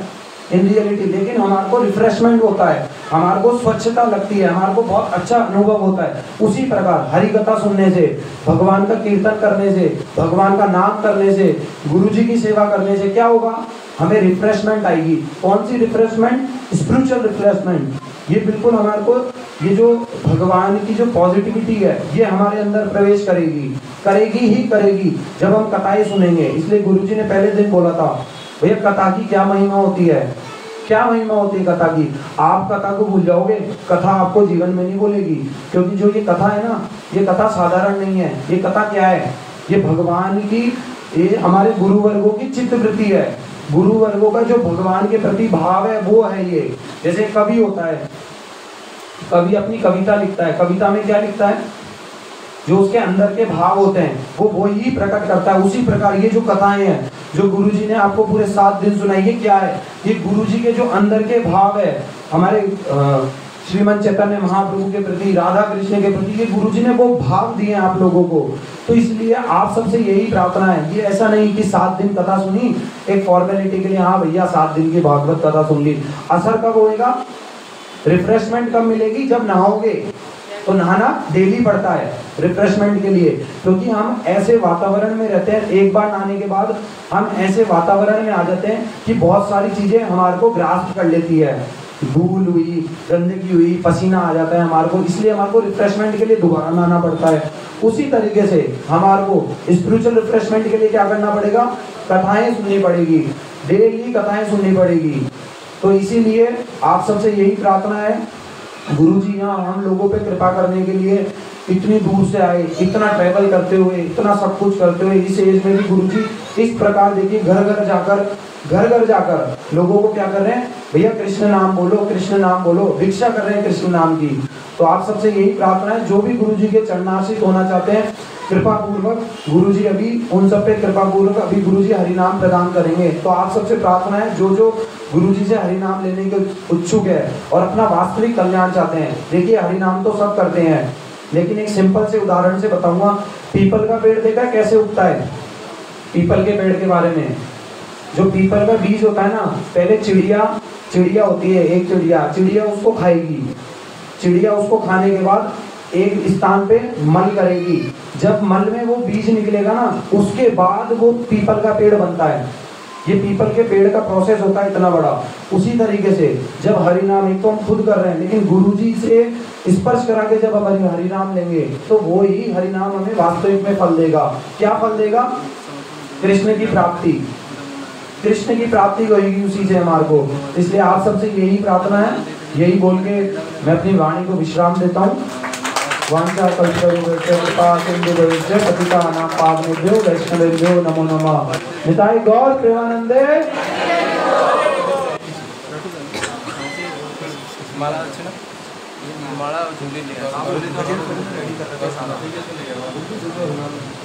हरे कृष्ण एक बार हाथ उठा कर बोलो। बोलो, हरे कृष्ण हरे कृष्ण कृष्ण कृष्ण, हरे हरे। हरे राम हरे राम एक बार और एक बार ज़ोर करके बोलो हरे कृष्ण कृष्ण हरे हरे हरे राम हरे राम राम राम हरे हरे हरे बार ज़ोर करके बोलो हरे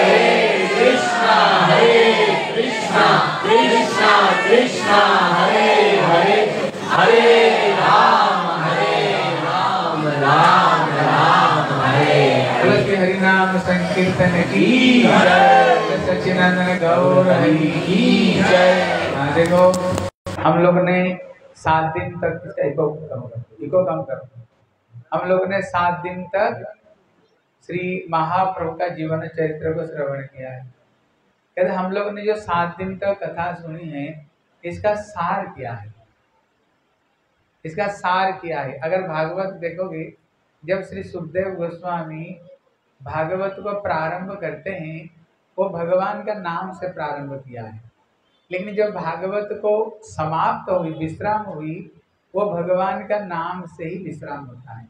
इसका तात्पर्य है, जीवन का जो सार है, वो ठाकुर जी का नाम है। अगर जीवन में भगवान के नाम को अगर अपना जीवन में उतार लिया तो समझना, हमने सारे गीता, रामायण, भागवत, हमने सब कुछ हमने सुन लिया। अभी तुलसीदास की दुआ सुन रहे थे ना?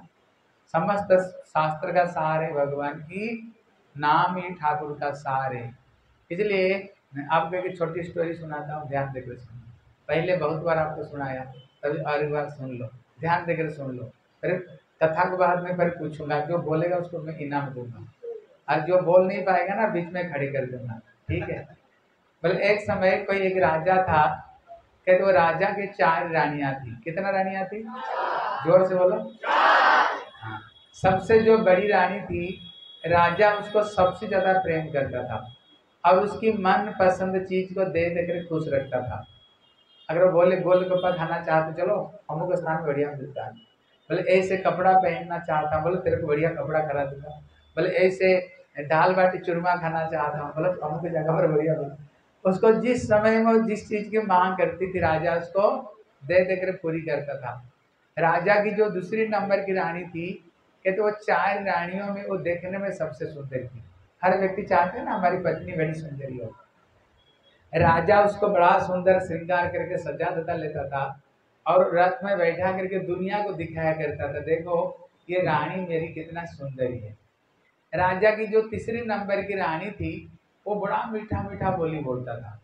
हर व्यक्ति चाहते ना, जब काम करके घर में आऊँ, पत्नी इतना मीठा बोली बोले, जैसे मन को शांति मिले। ऐसे नहीं घर में पटका फोड़ रही समझ रहे ऐसे घर में आते ही लड़ाई झगड़ा की सारे बात शुरू कर दे। नहीं करनी चाहिए।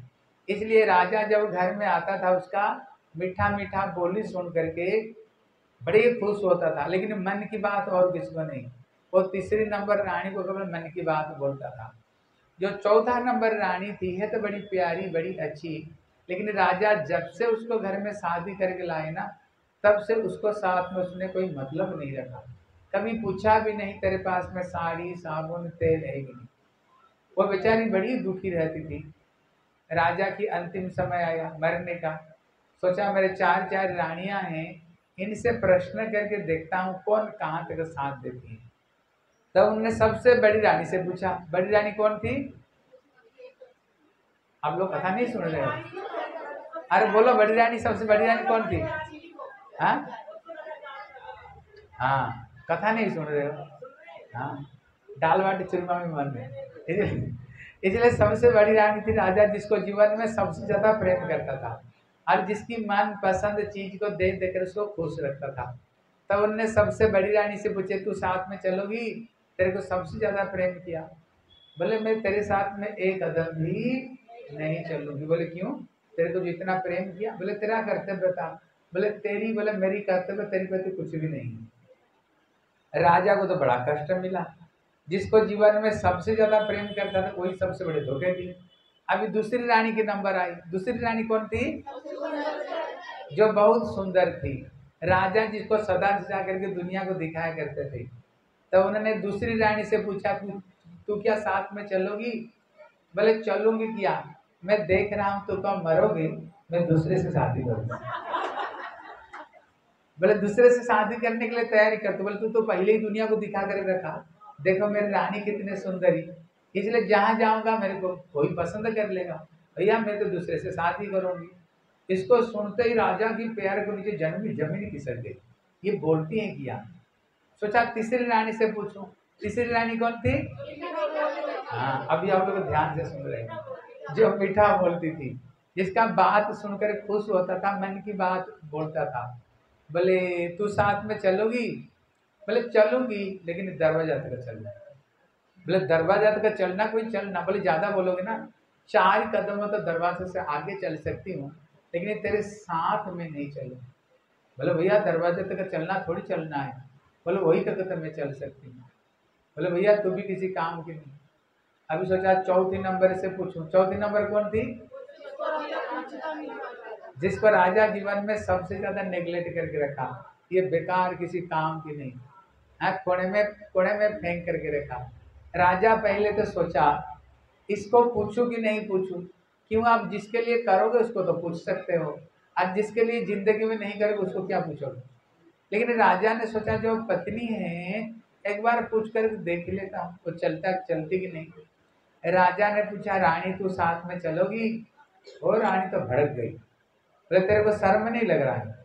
जब से तुमने शादी करके लाए हो, कभी तुमने पूछा तेरे पास में साड़ी, साबुन, तेल है कि नहीं? ज़िंदगी में तो कभी पूछा नहीं, और मरने से पहले कह रहे हो, साथ में चलोगी? बोले, रानी, मैं तो तेरे को पूछना ही नहीं चाह रहा था। सोचा जब रानी एक बार पूछ करके देख लेता हूँ। देखो चौधरी रानी क्या उत्तर देती है? बोले, महाराज, मैं तेरे को जीवन में सबसे ज़्यादा प्रेम करती हूँ। तुम देख लिया कि नहीं? जिन जिन को प्रेम करता था, कौन कहाँ तक देख बोला, देख लिया। बोले, ज़िंदगी में मेरे तरफ़ में कभी देखे? बोले, नहीं। बोले, मैं तेरे को दिल से प्रेम करती हूँ। सुखी में सुखी, दुखी में दुखी रहूँगी और तेरे साथ में चलूँगी। बिना खाए पिए तेरे को मैं खिलाऊँगा। राजा तो सुनकर के अक्के बक्के चक्के भैया, जिनके लिए ज़िंदगी में किया वो कोई जाने के लिए तैयारी नहीं और जिसके लिए कुछ भी नहीं गया, वही जाने के लिए तैयार है। कहती जो कथा है ना, ये हमारी जीवन की सच्चाई है। अब इसको ध्यान देकर सुना, ये चार रानी कौन है और हमारी पत्नी कौन कौन है और राजा कौन है? कहते वो राजा और कोई नहीं, हम ही वो राजा है। हमारे भी चार चार पत्नियाँ। कितने कितने पत्नियाँ? चार चार पत्नियाँ कहते भैया, सबसे बड़ी रानी कौन है? राजा जिसको सबसे ज़्यादा प्रेम करता था, जिसकी मन पसंद को चीज़ को देख देख कर खुश करता था, लेकिन जीवन तो उसको सबसे ज़्यादा प्रेम तो कर रहे हैं, लेकिन अंतिम समय में वो हमारे साथ देने वाले नहीं। कहते भैया, वो कौन है जिसको जीवन में हम सबसे ज़्यादा प्रेम करते हैं? और जो चीज़ की मांग करती है, उसी समय ला करके देते हैं। आप लोग बोलो तो किसको प्रेम करते हो? पीछे जो व्यक्ति बैठे हुए बैठ बोलो। आप लोग किसको ज़्यादा प्रेम करते हो? अरे बोलो ज़ोर से। हाँ ये जगत में कोई बोलेगा ना, मैं अपना पत्नी को प्रेम करती हूँ। नहीं तो बच्चों का, पति को शास्त्र कहता है कि जगत में प्रेम नाम का कोई चीज़ नहीं है। यहाँ केवल स्वार्थ है। और जो प्रेम थोड़ी बहुत तुमको दिख रहा है ना, चुके तुमसे कुछ मिल रहा है। आप देखो गन्ने से जूस कैसे निकालते हो? गन्ने से जूस कैसे निकालते देखेगी नहीं? एक बार गन्ने को मशीन में देगा बोले जूस निकल गया। बोले, और थोड़ा जूस है डबल करके देखा। फिर देखेगा, और थोड़ी है। फिर चार डबल करके फिर देगा। फिर देखेगा, और थोड़ी है, उसको आठ डबल करके देगा। देगा कि नहीं? और जो पूरा जूस निकल जाएगा, फिर क्या करेगा? फेंकेगा नहीं। रोसई फिर रोसोई बनाएगा ये संसार में जो प्रेम दिखता है ना हमें वो इसीलिए दिख रहा है क्योंकि अभी हमारे शरीर में कुछ खून है चूसने के लिए। इसलिए उसको प्रेम दिख रहा है। इसलिए कहते ना, आप कैसे हो, बोले, जब तक जेब में पैसा हो, पैसा गन और तुम हो। ये जगत बड़ा विचित्र दुनिया है। अभी प्रश्न होता है फिर हम प्रेम किसको कर रहे हैं? कहते अपना शरीर को अपनी आप को सबसे ज़्यादा प्रेम करते हैं। ये शरीर को जो प्यार करता है, प्रेम करता है उसको कहीं हम प्रेम करते हैं। अब देखना, अब किसको देना बंद कर दो, सारे प्रेम वहीं पर खत्म हो जाए।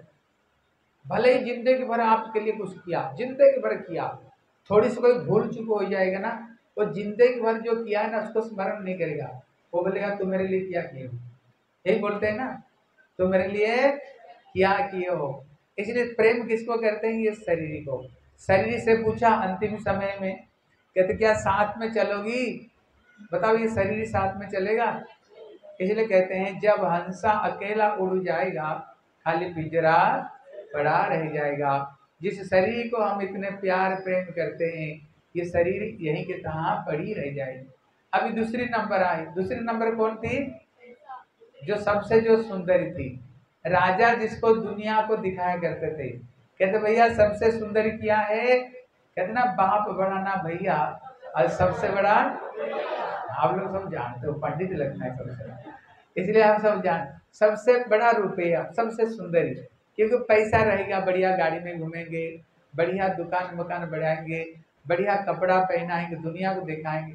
भले स्मशान तक क्यों नहीं जाए, कोई मर जाए, उस समय भी बढ़िया गाड़ी में जाएँगे। देखो हमारे पास इतने कीमती गाड़ी है, हैं? पैसा पैसा से पूछा, पैसा साथ में चलोगी? पैसा क्या उधर दिया? मैं देख रहा हूँ तू कब मरोगे, मैं दूसरे से शादी करूँ मतलब क्या है? आप बताओ, बच्चों का नज़र कहाँ पर है? पिताजी का कितने पैसा, कितने बैंक में एटीएम कार्ड में कहाँ पैसा, कितने प्रॉपर्टी जमीनी जगह देखना, बच्चों का वहीं पर नज़र रहती है ना? लेकिन जब शरीर छूट जाएगा, फिर क्या होगा? झट वो पैसा दूसरों के नाम पर ट्रांसफ़र हो जाती है। इसलिए कहते भैया, तेरे साथ में नहीं चलूँगी, मैं तो दूसरे से शादी करूँगी। और जिसको पास में जाएगा, उसको भोग करेगा। इसलिए कहती, भैया, मैं दूसरे को शादी कर लूँगी, तेरे साथ में नहीं जाऊँगी। देखो, हमारी गाँव के सच घटना ध्यान देकर सुनो। हमारी गाँव में जो सबसे ज़्यादा पैसा वाला व्यक्ति था, उसको तीन बच्चे थे। कितने? कभी कभी क्या होता है ना, किसी बच्चे को हिस्सा में थोड़ी कम, थोड़ा ज़्यादा चले जाता है। जिस बच्चे को हिस्सा में थोड़ा कम था, जब उसको पिता शरीर छोड़ा ना, उसने डंडा लेकर खड़ा हो गया।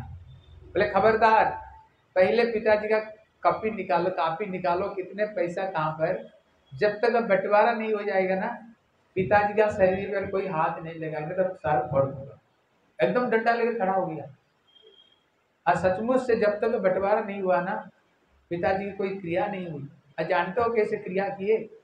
बड़े बुरी तरह से किया। बोले उसके पास भी ज़्यादा पैसा, वही करेगा। मैं क्या करूँ? क्यों करूँ? लास्ट में तीनों बच्चे कुछ भी करना नहीं चाहे जिस पैसा को पीछे हम इतने समय देते हैं। इसलिए गुरु जी कहते थे, ध्यान देकर सुना, बात मत करो। किसी व्यक्ति को बोलो, थोड़ा प्रभु का भजन करो। बोले, समय कहाँ? बोले, क्यों? बोले, बच्चे के लिए थोड़े पैसा कमा कर जाएँगे ना। गुरु जी कहते थे, भैया, बच्चे के लिए ज़्यादा पैसा मत कमाओ। बच्चा हो ना हारोगा तो कमा ही लेगा। नालाई की बनेगा ना। सब, किसका बच्चा ज़्यादा बिगड़ते देख ले। शराब, जुआ खेलना मांस खाना जिसकी जिस पिता ने जिसने ज़्यादा पैसा रख कर गए। इसलिए हमारे बड़े गुरु जी कहते थे, भैया असली धन को कमाओ। कौन सा? प्रभु का नाम धन कमाओ। जो धन तुम्हारे साथ में, काम में जो आने वाली, ये धन में धनी बनो।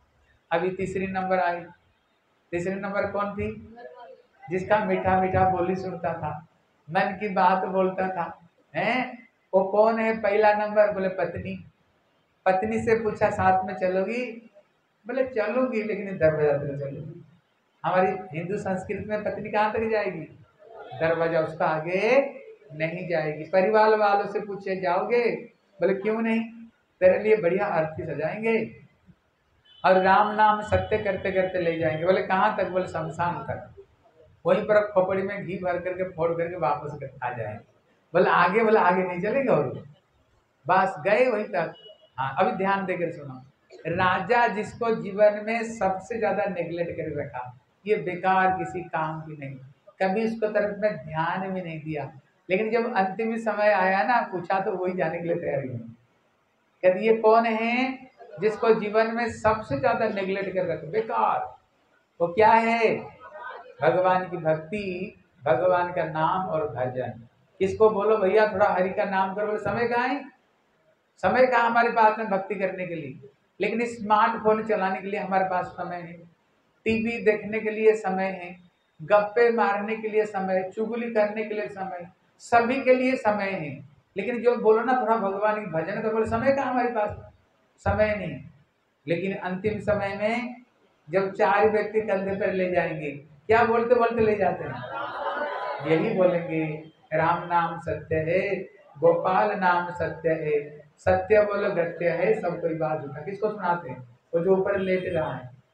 बोले, देख बेटा, जीवन में जितने राम और कृष्ण का नाम लिए हो, अभी तेरे साथ में वही जा रहा है। इसके सिवाय तुमने जो कुछ इकट्ठे यहाँ पर किए हो, एक सुई धागा भी तेरे साथ यहाँ से नहीं जा रही है। कोई यहाँ से नहीं जा, जाएगा, क्या जा रही है? बोले जितने इसलिए मीरा कहती है पायो जी मैंने राम रतन धन पायो।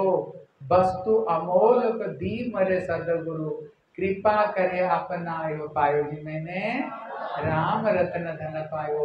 जितने हरि का नाम लेते हैं वही धन ही जाएगा और कोई कुछ भी जा, नहीं जाएगा। ठीक है ना? इसलिए चैतन्य महाप्रभु की कथा हो रही है। पहले सुनाया था ना एक दिन महाप्रभु से भक्त लोगों ने बोले प्रभु हमारे घर में आपका भोजन है।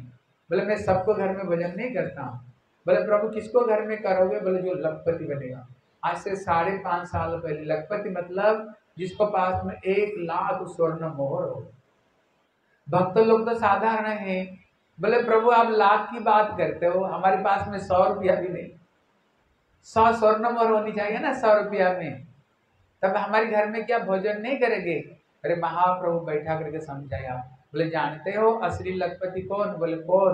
बोले, रोज़ाना जो एक लाख ठाकुर का नाम जप करता है। इसलिए मीरा कहती हैं, ले लो रे कोई राम का प्यारा, आवाज़ लगाओ गली गली, राम नाम के गिरे मोती मैं बिखराऊं गली गली। और जिन जिन ने यह मोती लूटे, वो सब माला माल हुई और माया के जो बने पुजारी, आखिर हो ठीक ना? आप लोग सब समझ गए पंडित लोग आप सब। आप बताओ तो कौन सा स्त्री को ज़्यादा प्रेम करो? जो लोग ज़ोर से बोलो। कौन कौन बोलते हो चौथी रानी को प्रेम करोगे ज़्यादा? हाथ उठाओ तो। ज़ोर से। हाँ देखो ये चीज़ को समझो।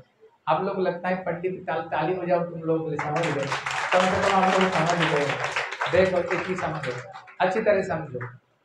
चौथी रानी को प्रेम करना मतलब है आज से भगवान की भक्ति करना शुरू कर दो। आज से हरि का नाम करना शुरू कर दो। समझना मतलब होता है अपना जीवन में उतारना। गुरु जी उदाहरण देते थे, जैसे हमने इसको बोला, गिलास पानी दो तो। लेकिन उसने सुन लिया, लेकिन पानी गिलास नहीं दिया। मैंने कहा, तुम्हें सुनी कि नहीं? बोले, सुन लिया तो आपने कहा एक गिलास पानी दो। लेकिन उसने पानी नहीं दिया। उसको सुनना क्या सुनना बोलेंगे? अरे बोलो, सुनना किस नहीं। समझना मतलब होता है आज से आज से नहीं, अभी से। भगवान की भजन करना शुरू कर दो, क्योंकि ये निश्वास में कोई विश्वास नहीं।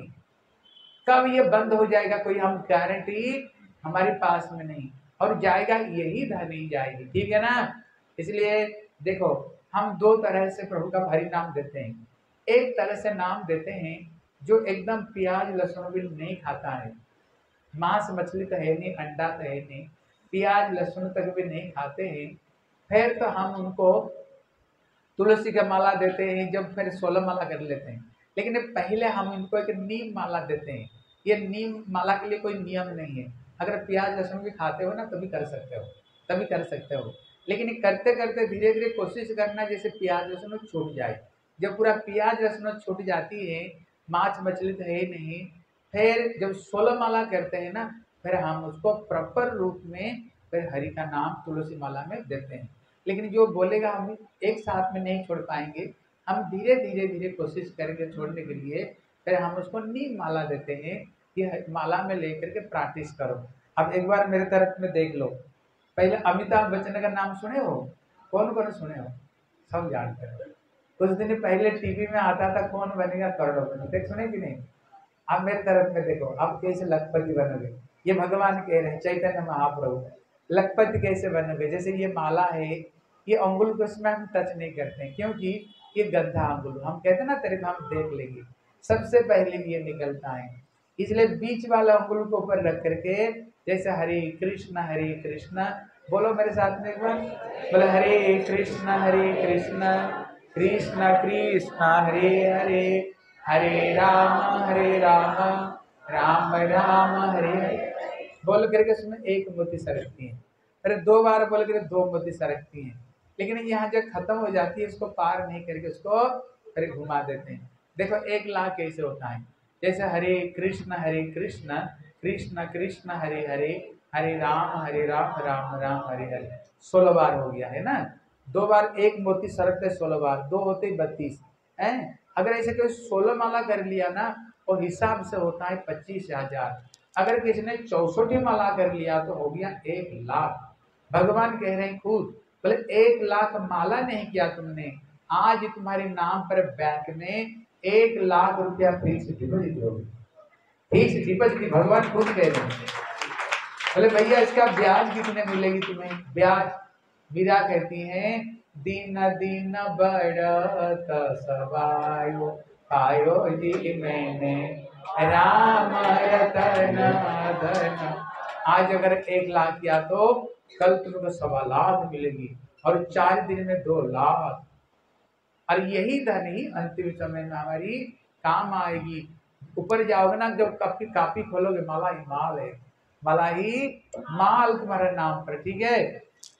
इसलिए हमारे जनार्दन प्रभु जी इधर खड़े हो, इधर आ जाए हमारे जनार्दन प्रभु जी, इन्होंने प्रचार करके, यहाँ के भक्त लोग सब मिल करके, और जनार्दन प्रभु उन्होंने बहुत बच्चों को कथा सुना करके ना, बहुत बच्चों को उन्होंने उत्साहित दे करके, उनको माछ मछली तो है नहीं, प्याज लहसुन, यहाँ तक भी चाय छुड़वाए और एक एक बच्चा तो सोलह सोलह माला करते हैं सोलह सोलह माला करते हैं।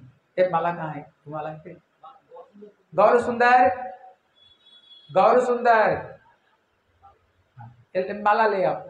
इसलिए इन्होंने बच्चों को, उन्होंने बड़े उत्साहित दे करके सोलह सोलह माला बच्चे करते हैं। इसलिए हम चाहते हैं, आप लोगों के सामने वो लोग माला ले, आप लोग उत्साहित होकर के उनको उत्साहित करना। क्योंकि जो हरि नाम नीला मतलब है, स्वयं ठाकुर जी गोविंद देव हमारे पास में आए। क्योंकि हरि से बड़ा हरि का नाम है। हैं? इसलिए आप लोग जिन बच्चों ने ये माला लेंगे और जिनको इतने उत्साह दे करके, जिनको एकत्रित करवाए श्री, हमारे श्री जनार्दन प्रभु की ताली हो ज़ोर से।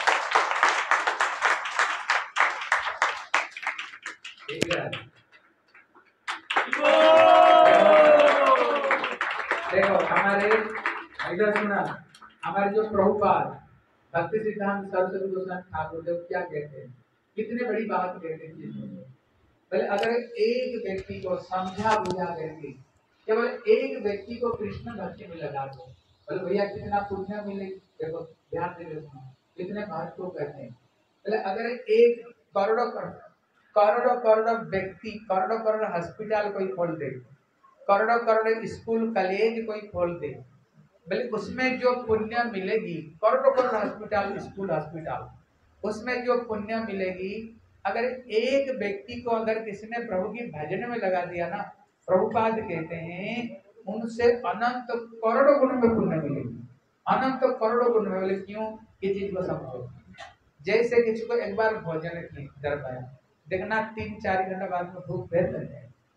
किसको कपड़ा दे दिया, दो दिन बाद में फट जाएगी किसको दबा दे दिया, दो दिन बाद में फिर बीमारी आएगी लेकिन कृष्ण गीता में कहते हैं, अर्जुन, कब तक ये जीव दुख भोग करेंगे? बोले जब तक मेरे भजन में नहीं पहुँचे, जब तक मेरे चरणों को प्राप्त नहीं करते, तब तक ये दुख है। लेकिन जो व्यक्ति मेरी भक्ति करके मेरे धाम में आते हैं, कृष्ण गीता में कहते हैं, बोले, माम तु कौनते पुनर्जन्म न विद्यते। है और जो जो व्यक्ति कोई बात मत करो। ए, बैठ चुप। बैठ बैठ। इसलिए कहते हैं, जो व्यक्ति भक्ति करके मेरे पास में आ जाते हैं, कहते भैया, उसको जगत में दोबारा पुनर्जन्म नहीं होता है। इसलिए कृष्ण गीता में कहते हैं, और जो सबसे ज़्यादा प्रेम में किसको करता हूँ? कहते जो ये जीव को मेरे पास मिल गया। क्योंकि सब जीव मेरे ही मेरे ही बच्चे हैं। लेकिन मेरे को भूल करके संसार में दुख कष्ट भोग कर रहे हैं। अगर किसी पिता को पास में ले आए, पिता कितना खुश नहीं होगा, बताओ। तो एक उदाहरण देकर समझाते अच्छे तरह सुनो। ये प्रभु की प्रचार करना में कितने महत्व आपसे एक प्रश्न करूँगा, देखना कौन उत्तर दे पाता है। ध्यान देकर सुनो। बोले एक समय एक पिता और एक बच्चा मेला देखने गए थे। वो मेला में बड़ा टहलचल मच रहा था। बच्चा बहुत छोटा बच्चा था। अभी पिताजी का हाथ पकड़ करके ना मेला का बड़ा आनंद, कहीं दोला कहीं थिएटर कहीं सिनेमा बड़ा बच्चा खुश हो रहा था, पिताजी के हाथ पकड़ करके देख रहा था। लेकिन करते करते आवेश में आकर के पिताजी के हाथ से बच्चे का हाथ अलग हो गया। थोड़ी देर बाद में देखता है पिता अलग, बच्चा अलग, बड़े भीड़ था वहाँ पर। अभी बच्चा रो रहा है, मेरे पिताजी कहाँ पिताजी का। कोई ला करके टफी दे दिया। थोड़ी समय के लिए बंद। बोले, मेरे पापा मेरे पापा। कोई ला कर थोड़ी सी मिठाई। थोड़ी समय के लिए चुप। अरे पापा, मेरे पापा। किसने खिलौना दे दिया। चुप। बोले, मेरे पापा मेरे पापा। एक व्यक्ति ने देखा, जब तक इसको पिताजी को ढूंढ करके ना, नहीं ला दे, भले ही उसको जो कुछ दो कभी सुख खुश नहीं हुआ। उसको पिताजी को ढूंढो। तो ढूंढे उसको पिताजी को। सचमुच से थोड़ी दूर गया ना, वो व्यक्ति पागल होकर ढूंढ रहा है। छोटा बच्चा था। भैया, मेरे बच्चा कहाँ? भैया, छोटा सा बच्चा रोता होगा। बोले हाँ हाँ मैंने देखा, वहाँ पर एक नीली साठ पहनी करके छोटा बच्चा। बोले हाँ हाँ बोले, कहाँ पर? बोले सीधे आप तो उनको लेकर बोले, ये तुम्हारे बेटा है। बोले हाँ ये मेरे बेटा। बेटा को बोले, ये तेरे पिता। बोले हाँ मेरे पिता। बस, जो पिताजी का हाथ मिल गया ना, बचा वो रहेगा हाँ ये चीज़ को समझो, अच्छे तरह समझो। उसको जो टफी दे रहा था, वो भी दया किया। जो खिलौना दे रहा था, वो भी दया किया। जो मिठाई दे रहा था, वो भी दया किया। लेकिन सबसे बड़ी दया किसने की? यही चीज़ को समझ लो। इसलिए प्रभुपाद कहते हैं महा भगवान कृष्ण कहते हैं, उसको क्योंकि हमारे पिता साधारण नहीं, हमारा पिता गोविंद देव स्वयं। ये गोपीनाथ स्वयं हमारे पिता जो विश्व ब्रह्मांड नाभिक लेकिन हम उसके बच्चे हैं। लेकिन ये संसार में आकर कोई तन से दुखी मन से दुखी धन से दुखी, परिवार से दुखी, शरीर से दुखी, मन से दुखी, पड़ोस से दुखी दुखी दुखी दुखी भोग कर संसार लेकिन कब तक ये दुख भोग करेंगे, कृष्ण कहते हैं, बोले, जब तक जीव मेरे पास में नहीं आ जाता, तब तक कभी जीव को शांति मिल नहीं सकती। नहीं मिल सकती है। इसलिए जगत में सबसे बड़े दाता वही जो ये जीव को भगवान तक पहुँचा दे इसलिए वही जगत में बड़े भाग्यशाली है, जो ये लोगों को ला करके भगवान की भक्ति में लगा देना इससे बड़ा जगत में कोई महिमा नहीं।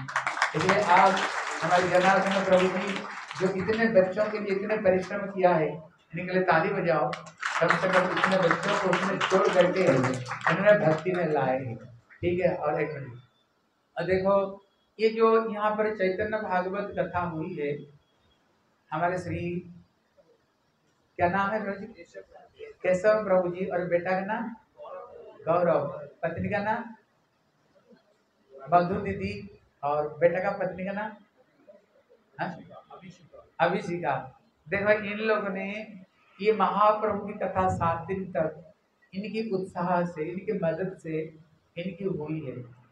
जगत में बहुत बड़ा बड़ा दान है, लेकिन इन्होंने जो ये कथा दान किया ना, ये राधा रानी को कहती है, जगत में बड़ा बड़ा दान है, लेकिन भगवान की कथा जो दान करते हैं इससे बड़ा दान जगत में कुछ भी नहीं। देखो इन्होंने कथा करवाए कथा में कुछ लोगों का भावना हुई कि हम भी भजन करें, भक्ति करें। अब बताओ, इसका पुण्य किसको मिलेगा इसलिए लोगों के पास पैसा है। शादी में बताएँ तो कितना करोड़ रुपया लगा देते हैं। हैं? और उल्टा पुल्टा काम में देखना, पैसा पानी जैसे बहा देते हैं। लेकिन थोड़ी सी भगवान की सेवा के पैसा ना। लेकिन इन्होंने जो काम किया है ना मीरा कहती है ना, दीन दीन, बढ़त सवाई। ये सारे वहाँ पर ऊपर में चित्रगुप्त लिख रहा है पूरा डिपोजिट हो रहा है इनकी। जब ऊपर जाएगी ना तो सारे को सारे फल को प्राप्त होगा, क्योंकि यहाँ पर इन्होंने ये श्री भगवान की कथा करवाए और इतना लोग ठाकुर मदन मोहन को सामने हाँ समझो पैसा लक्ष्मी है। लक्ष्मी कब खुश होती है? जब ये नारायण की सेवा में लगेगी, तभी लक्ष्मी खुश होती है। अगर नारायण की सेवा में नहीं लगेगी ना भले ही तुम्हारे घर में अरब खरब रुपया आ जाए देखना घर में शांति सुख नहीं देगी भाई भाई में लड़ाई कर देगी, बहू बहू में बीमार कठिन देकर पैसा बह जाएगी। लेकिन भगवान किस क्यों? वो लक्ष्मी नारायण की सेवा में नहीं लग रहा है तो तुम उसको भोग करना चाह रहे हो। वो घर में कभी सुख शांति नहीं देगी, तभी वो सुख देगी जब वो लक्ष्मी नारायण की सेवा में लगी। इसलिए भैया, इनके लिए तो हम कहते हैं, कम से कम इनका ठाकुर जैसे दीप दिया है। जो बोले नहीं भैया रोज रोज जो प्रसाद पा रहे इन लोगों ने दिल खोल करके बोले हाँ जो प्रसाद होगा सब हम कुछ व्यवस्था करेंगे। इसलिए हम गोविंद देव से, मदन मोहन ठाकुर से प्रार्थना करते हैं, खूब इनको शांति सुख दे जीवन में, खूब भक्ति दे। और इनको जो बेटा और बहू, उनको जो मिला है ना, बहुत अच्छा मिला है। जो कि, है बेटा कहाँ है यहाँ पर? बेटा कहाँ हाँ देखो इनका जो बहू और जो बेटे मिले, बहू जी खड़े हो जाओ तो। हाँ ये हमारे देश उड़ीसा की है। हमारे देश की है। इसलिए कहते इनको ऐसे बेटा, बहू मिले दोनों। बहुत ऐसे बेटा, मैं सोचता हूँ, सबको ऐसे बेटा, बहू मिले जो घर में कंटिन्यू पूजा हरि के नाम भगवान की भजन करते हैं। इसलिए भागवत में बताया वंश में जो एक बेटा प्रभु की भक्ति करे, एक बेटा ये भगवान खुद कह रहे हैं, गोविंद देव। बोले उसका इक्कीस पीढ़ी उधार हो जाती है। उसको पिता माता जो जन्म देते हैं उनका जीवन धन्य हो जाता है। और जो पूर्वज लोग पहले चले गए देखना आप देखना कि पितर दोष आप सुने होंगे अगर भले ही जितने पैसा हो लेकिन अगर पूर्वज तुम्हारी दुखी है वो घर में शांति सुख नहीं रहती। आप देख लेना घर में सब कुछ कभी कभी लेकिन घर में शांति क्यों? यदि पितर दोष है। लेकिन ये पितर दोष कब खत्म होती है? जब उन्होंने एक भागवत कथा कराते हैं जब ये चैतन्य भागवत, भगवान की भागवत सुनाते हैं, जैसे धुंधुकारी उद्धार हुई है, केवल ये कथा से ही उनको उद्धार होता है। जब कोई ये कथा सुनाना शुरू कर देना, कथा देना, कहते नृत्य स्वर्ग इनका जो पूर्वज लोग, हाथ उठा उठा कर नाचते होंगे। हम ऐसे बच्चे जन्म दिया, जो बच्चे पैसा को भगवान की सेवा में, भागवत सेवा में लगा मैंने ये स्वयं नरसिंह भगवान कहते हैं, बोले, वसुंधरा बसतिष्ठ धन्या पृथ्वी को ऊपर जन्म ले, वो भी धन्य हो जाते हैं। इसलिए उनको परिवार बहुत अच्छा परिवार मिला। हम चाहते सबको ऐसे परिवार मिले, जिस घर में ठाकुर को सेवा, पूजा, भक्ति, भजन होना वही वृंदावन धाम वही वृंदावन धाम है। इसलिए ठाकुर जी, इनको खूब भक्ति, प्रेम दे। और इनके लिए जोरदार और ताली बजाओ। और इन्हीं कथाओं में देखो इन्हीं कथाओं में, आप लोग जो कथा सुनने के लिए आए हो, देखो जो श्रोता है ना, इनको परिचित बता ये सुखदेव गोस्वामी आ जाते लेकिन श्रोता अगर नहीं होता ना कथा हो सकता था? नहीं है। इसलिए आप लोग ने घर में ऐसे में बैठ करके घर में कितना आनंद लेते होंगे। लेकिन वो आनंद को छोड़ करके आप यहाँ पर दो दो, तीन तीन घंटा बैठे, आप लोग सब परिचित हो। इसलिए आप लोग, आप लोगों के लिए ताली हो जाओ ज़ोर से। ज़ोर से हो जाओ इसलिए आप लोग सब सब परिचित है। और ये जो मंदिर है, ये मंदिर में हमारे जो सेवक लोग, हमारे श्री राहुल जी सनातन नाम लेके और जितने यहाँ सेवक बैठे सबके सब, ये जो छोटे छोटे बच्चे देखो, इन लोगों ने सब घर बार छोड़ कर संतोष दिए। इनके लिए ताली बजाओ ज़ोर से इन लोगों ने दिन, रात अब ये बात समझे, ऐसे हो जाता है।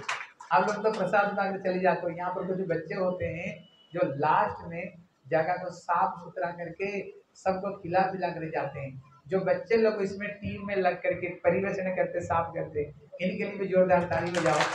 इन लोग करते हैं। और हमारे ब्रह्मचारी लोग है, है? और हमारे श्री सनातन प्रभु जी कहाँ है?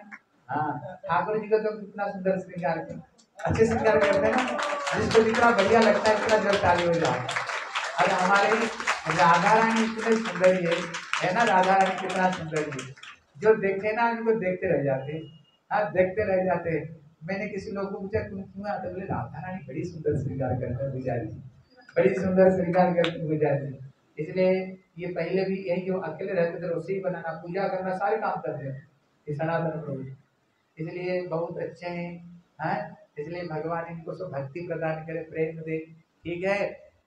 और इन कथाओं में हमारे जो सुंदर गोपाल प्रभु है, जो मंदिर का जो इंचार्ज है इन्होंने हमारे बड़ी गुरु जी की इच्छा थी यहाँ पर कोई आश्रम हो, लेकिन इन्होंने ये आश्रमों को खोल करके बच्चों को बड़े उत्साहित करके, इन्होंने ये बच्चों को यहाँ पर भजन में लगाया, यहाँ पर जो कर रहे हैं, और ये कथा को उन्होंने जो रखवाया है, अब उनके लिए भी जोरदार ताली जाए उनके लिए, और इन कथाओं में, हैं, जो बीच बीच में जो कथा सुनाए, हमारे गौर सुंदर प्रभु जी और हमारे श्यामानंद प्रभु जी, और बच्चों में, इनके लिए भी जोरदार ताली और हमारी सिद्धार्थ प्रभु जी। बड़े सुंदर ढोलकी बजाए बड़े सुंदर भजन बजाए और हमारे माइक वाले भैया बहुत अच्छे हैं। सबसे ज़्यादा डांट इनको पड़ता था ऐसे कर, इसके लिए, और मेरे को भी, मेरे को भी कुछ देनी चाहिए ना। मेरे को क्या देना? आशीर्वाद देना है कथा सुनकर कुछ दक्षिणा देनी चाहिए। बगैर दक्षिणा की कथा पूरी नहीं होता। मेरे को आशीर्वाद देना। ठीक है?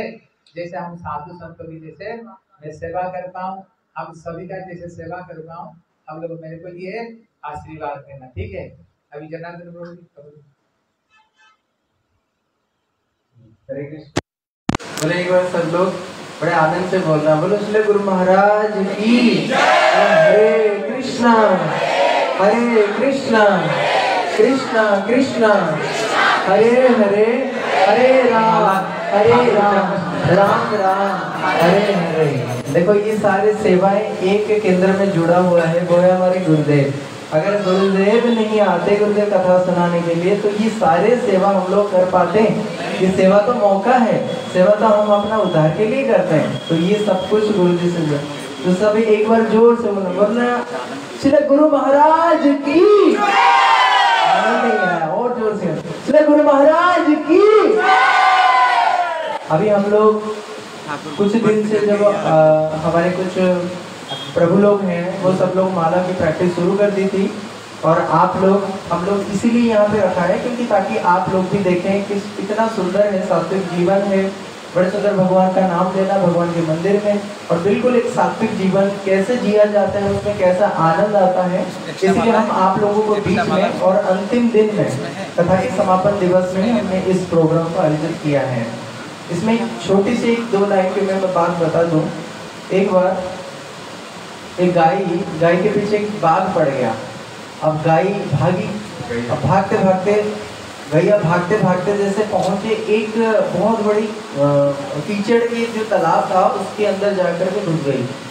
बाघ भी उसके पीछे भागता भागता घुस गया। तो इसमें गाय ने देखी कि भाई, वो तो बहुत बिल्कुल करीब था, पर वो क्योंकि कीचड़ इतना था? तो गाय थोड़ी सी आगे थी और जो बाघ था, वो बिल्कुल पीछे ही था। अब जैसे गाय भी वहाँ पे जाकर के गैया जो है, आगे जाकर के रुक गई और जो बाघ था, वो अब बाघ उसको पूछ रहा है कि भाई, तू अब कहाँ जाना है? अब तो तेरे, तू तो मेरे शिकारी बन चुकी है ना तो कैसे जा पाओगे? तो उसने बोला कि देखो, तेरे मेरी महज कुछ ही दूरी पर ही हम लोग हैं। पर एक बात याद रखना, क्योंकि मैं किसी का शरणागत हूँ। मैं जिस ग्वालियर का शरणागत हूँ, जब मैं शाम को वापस घर में नहीं लौटूँगी, तब वो मेरे को ढूंढता ढूंढता वन में आएगा और जब वन में देखेगा गाय की जो जो उसका फुटप्रिंट है, वो कहाँ गया हुआ तो वो मेरे को पीछे पीछे अनुसरण करके मेरे पास आ जाएगा। और क्योंकि मेरे गले में भी रस्सी बंधा हुआ है, इसलिए मेरे गले की रस्सी को पकड़ेगा और खींच करके ले जाएगा। अब तू सोच तेरा तो कुछ नहीं है ना तेरे तो कोई नहीं है तो तेरा क्या बता दिया? तो, तो सोचना कि हम लोग अगर शरणागत होंगे तो हमें कोई ना कोई बिल्कुल ढूंढ करके आएगा और हमारे जो गले की जो जो ये जो गलवस्त्र है ना हम लोग इसको इसीलिए धारण करते हैं ताकि हमारे इस गले में वो डाल करके रस्सी डाल करके हमें भगवान के लोग ज़बरदस्ती ले जाएँ। ठीक है ना? इसलिए हमारे भीतर जो सबसे जो पहले नंबर पे जो आज ये पढ़ाई भी करते हैं कंपटीशन की तैयारी भी करते हैं और साथ ही साथ चौंसठ माला करते हैं। और ये चौंसठ माला करते हैं। आप लोग सोच सकते हैं चौंसठ माला करते हैं दिन में। और इतना नहीं वो आकर के यहाँ पे सारे सेवा भी करते हैं। अगर वो प्रभु जी आप देखोगे मेरे को कम से कम एक महीने से रो रो करके डेली आकर के प्रभु जी मेरा हरिनाम कब होगा मेरा कब होगा? तो उनके लिए जोरदार ताली बजाना इसलिए मैंने उनका नाम है। पाँच साल से वो हरिनाम कर रहे हैं। गणेश प्रभु गणेश प्रभु।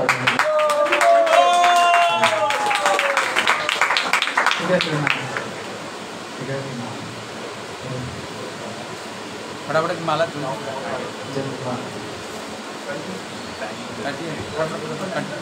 माला रखा। आप लोग थोड़ा सा साइड छोड़ देना। आएँगे जाएँगे थोड़ा सा साइड छोड़ देना बीच में। मतलब एट अगेन हरे कृष्ण। दूसरे नंबर पे हमारे राहुल प्रभु।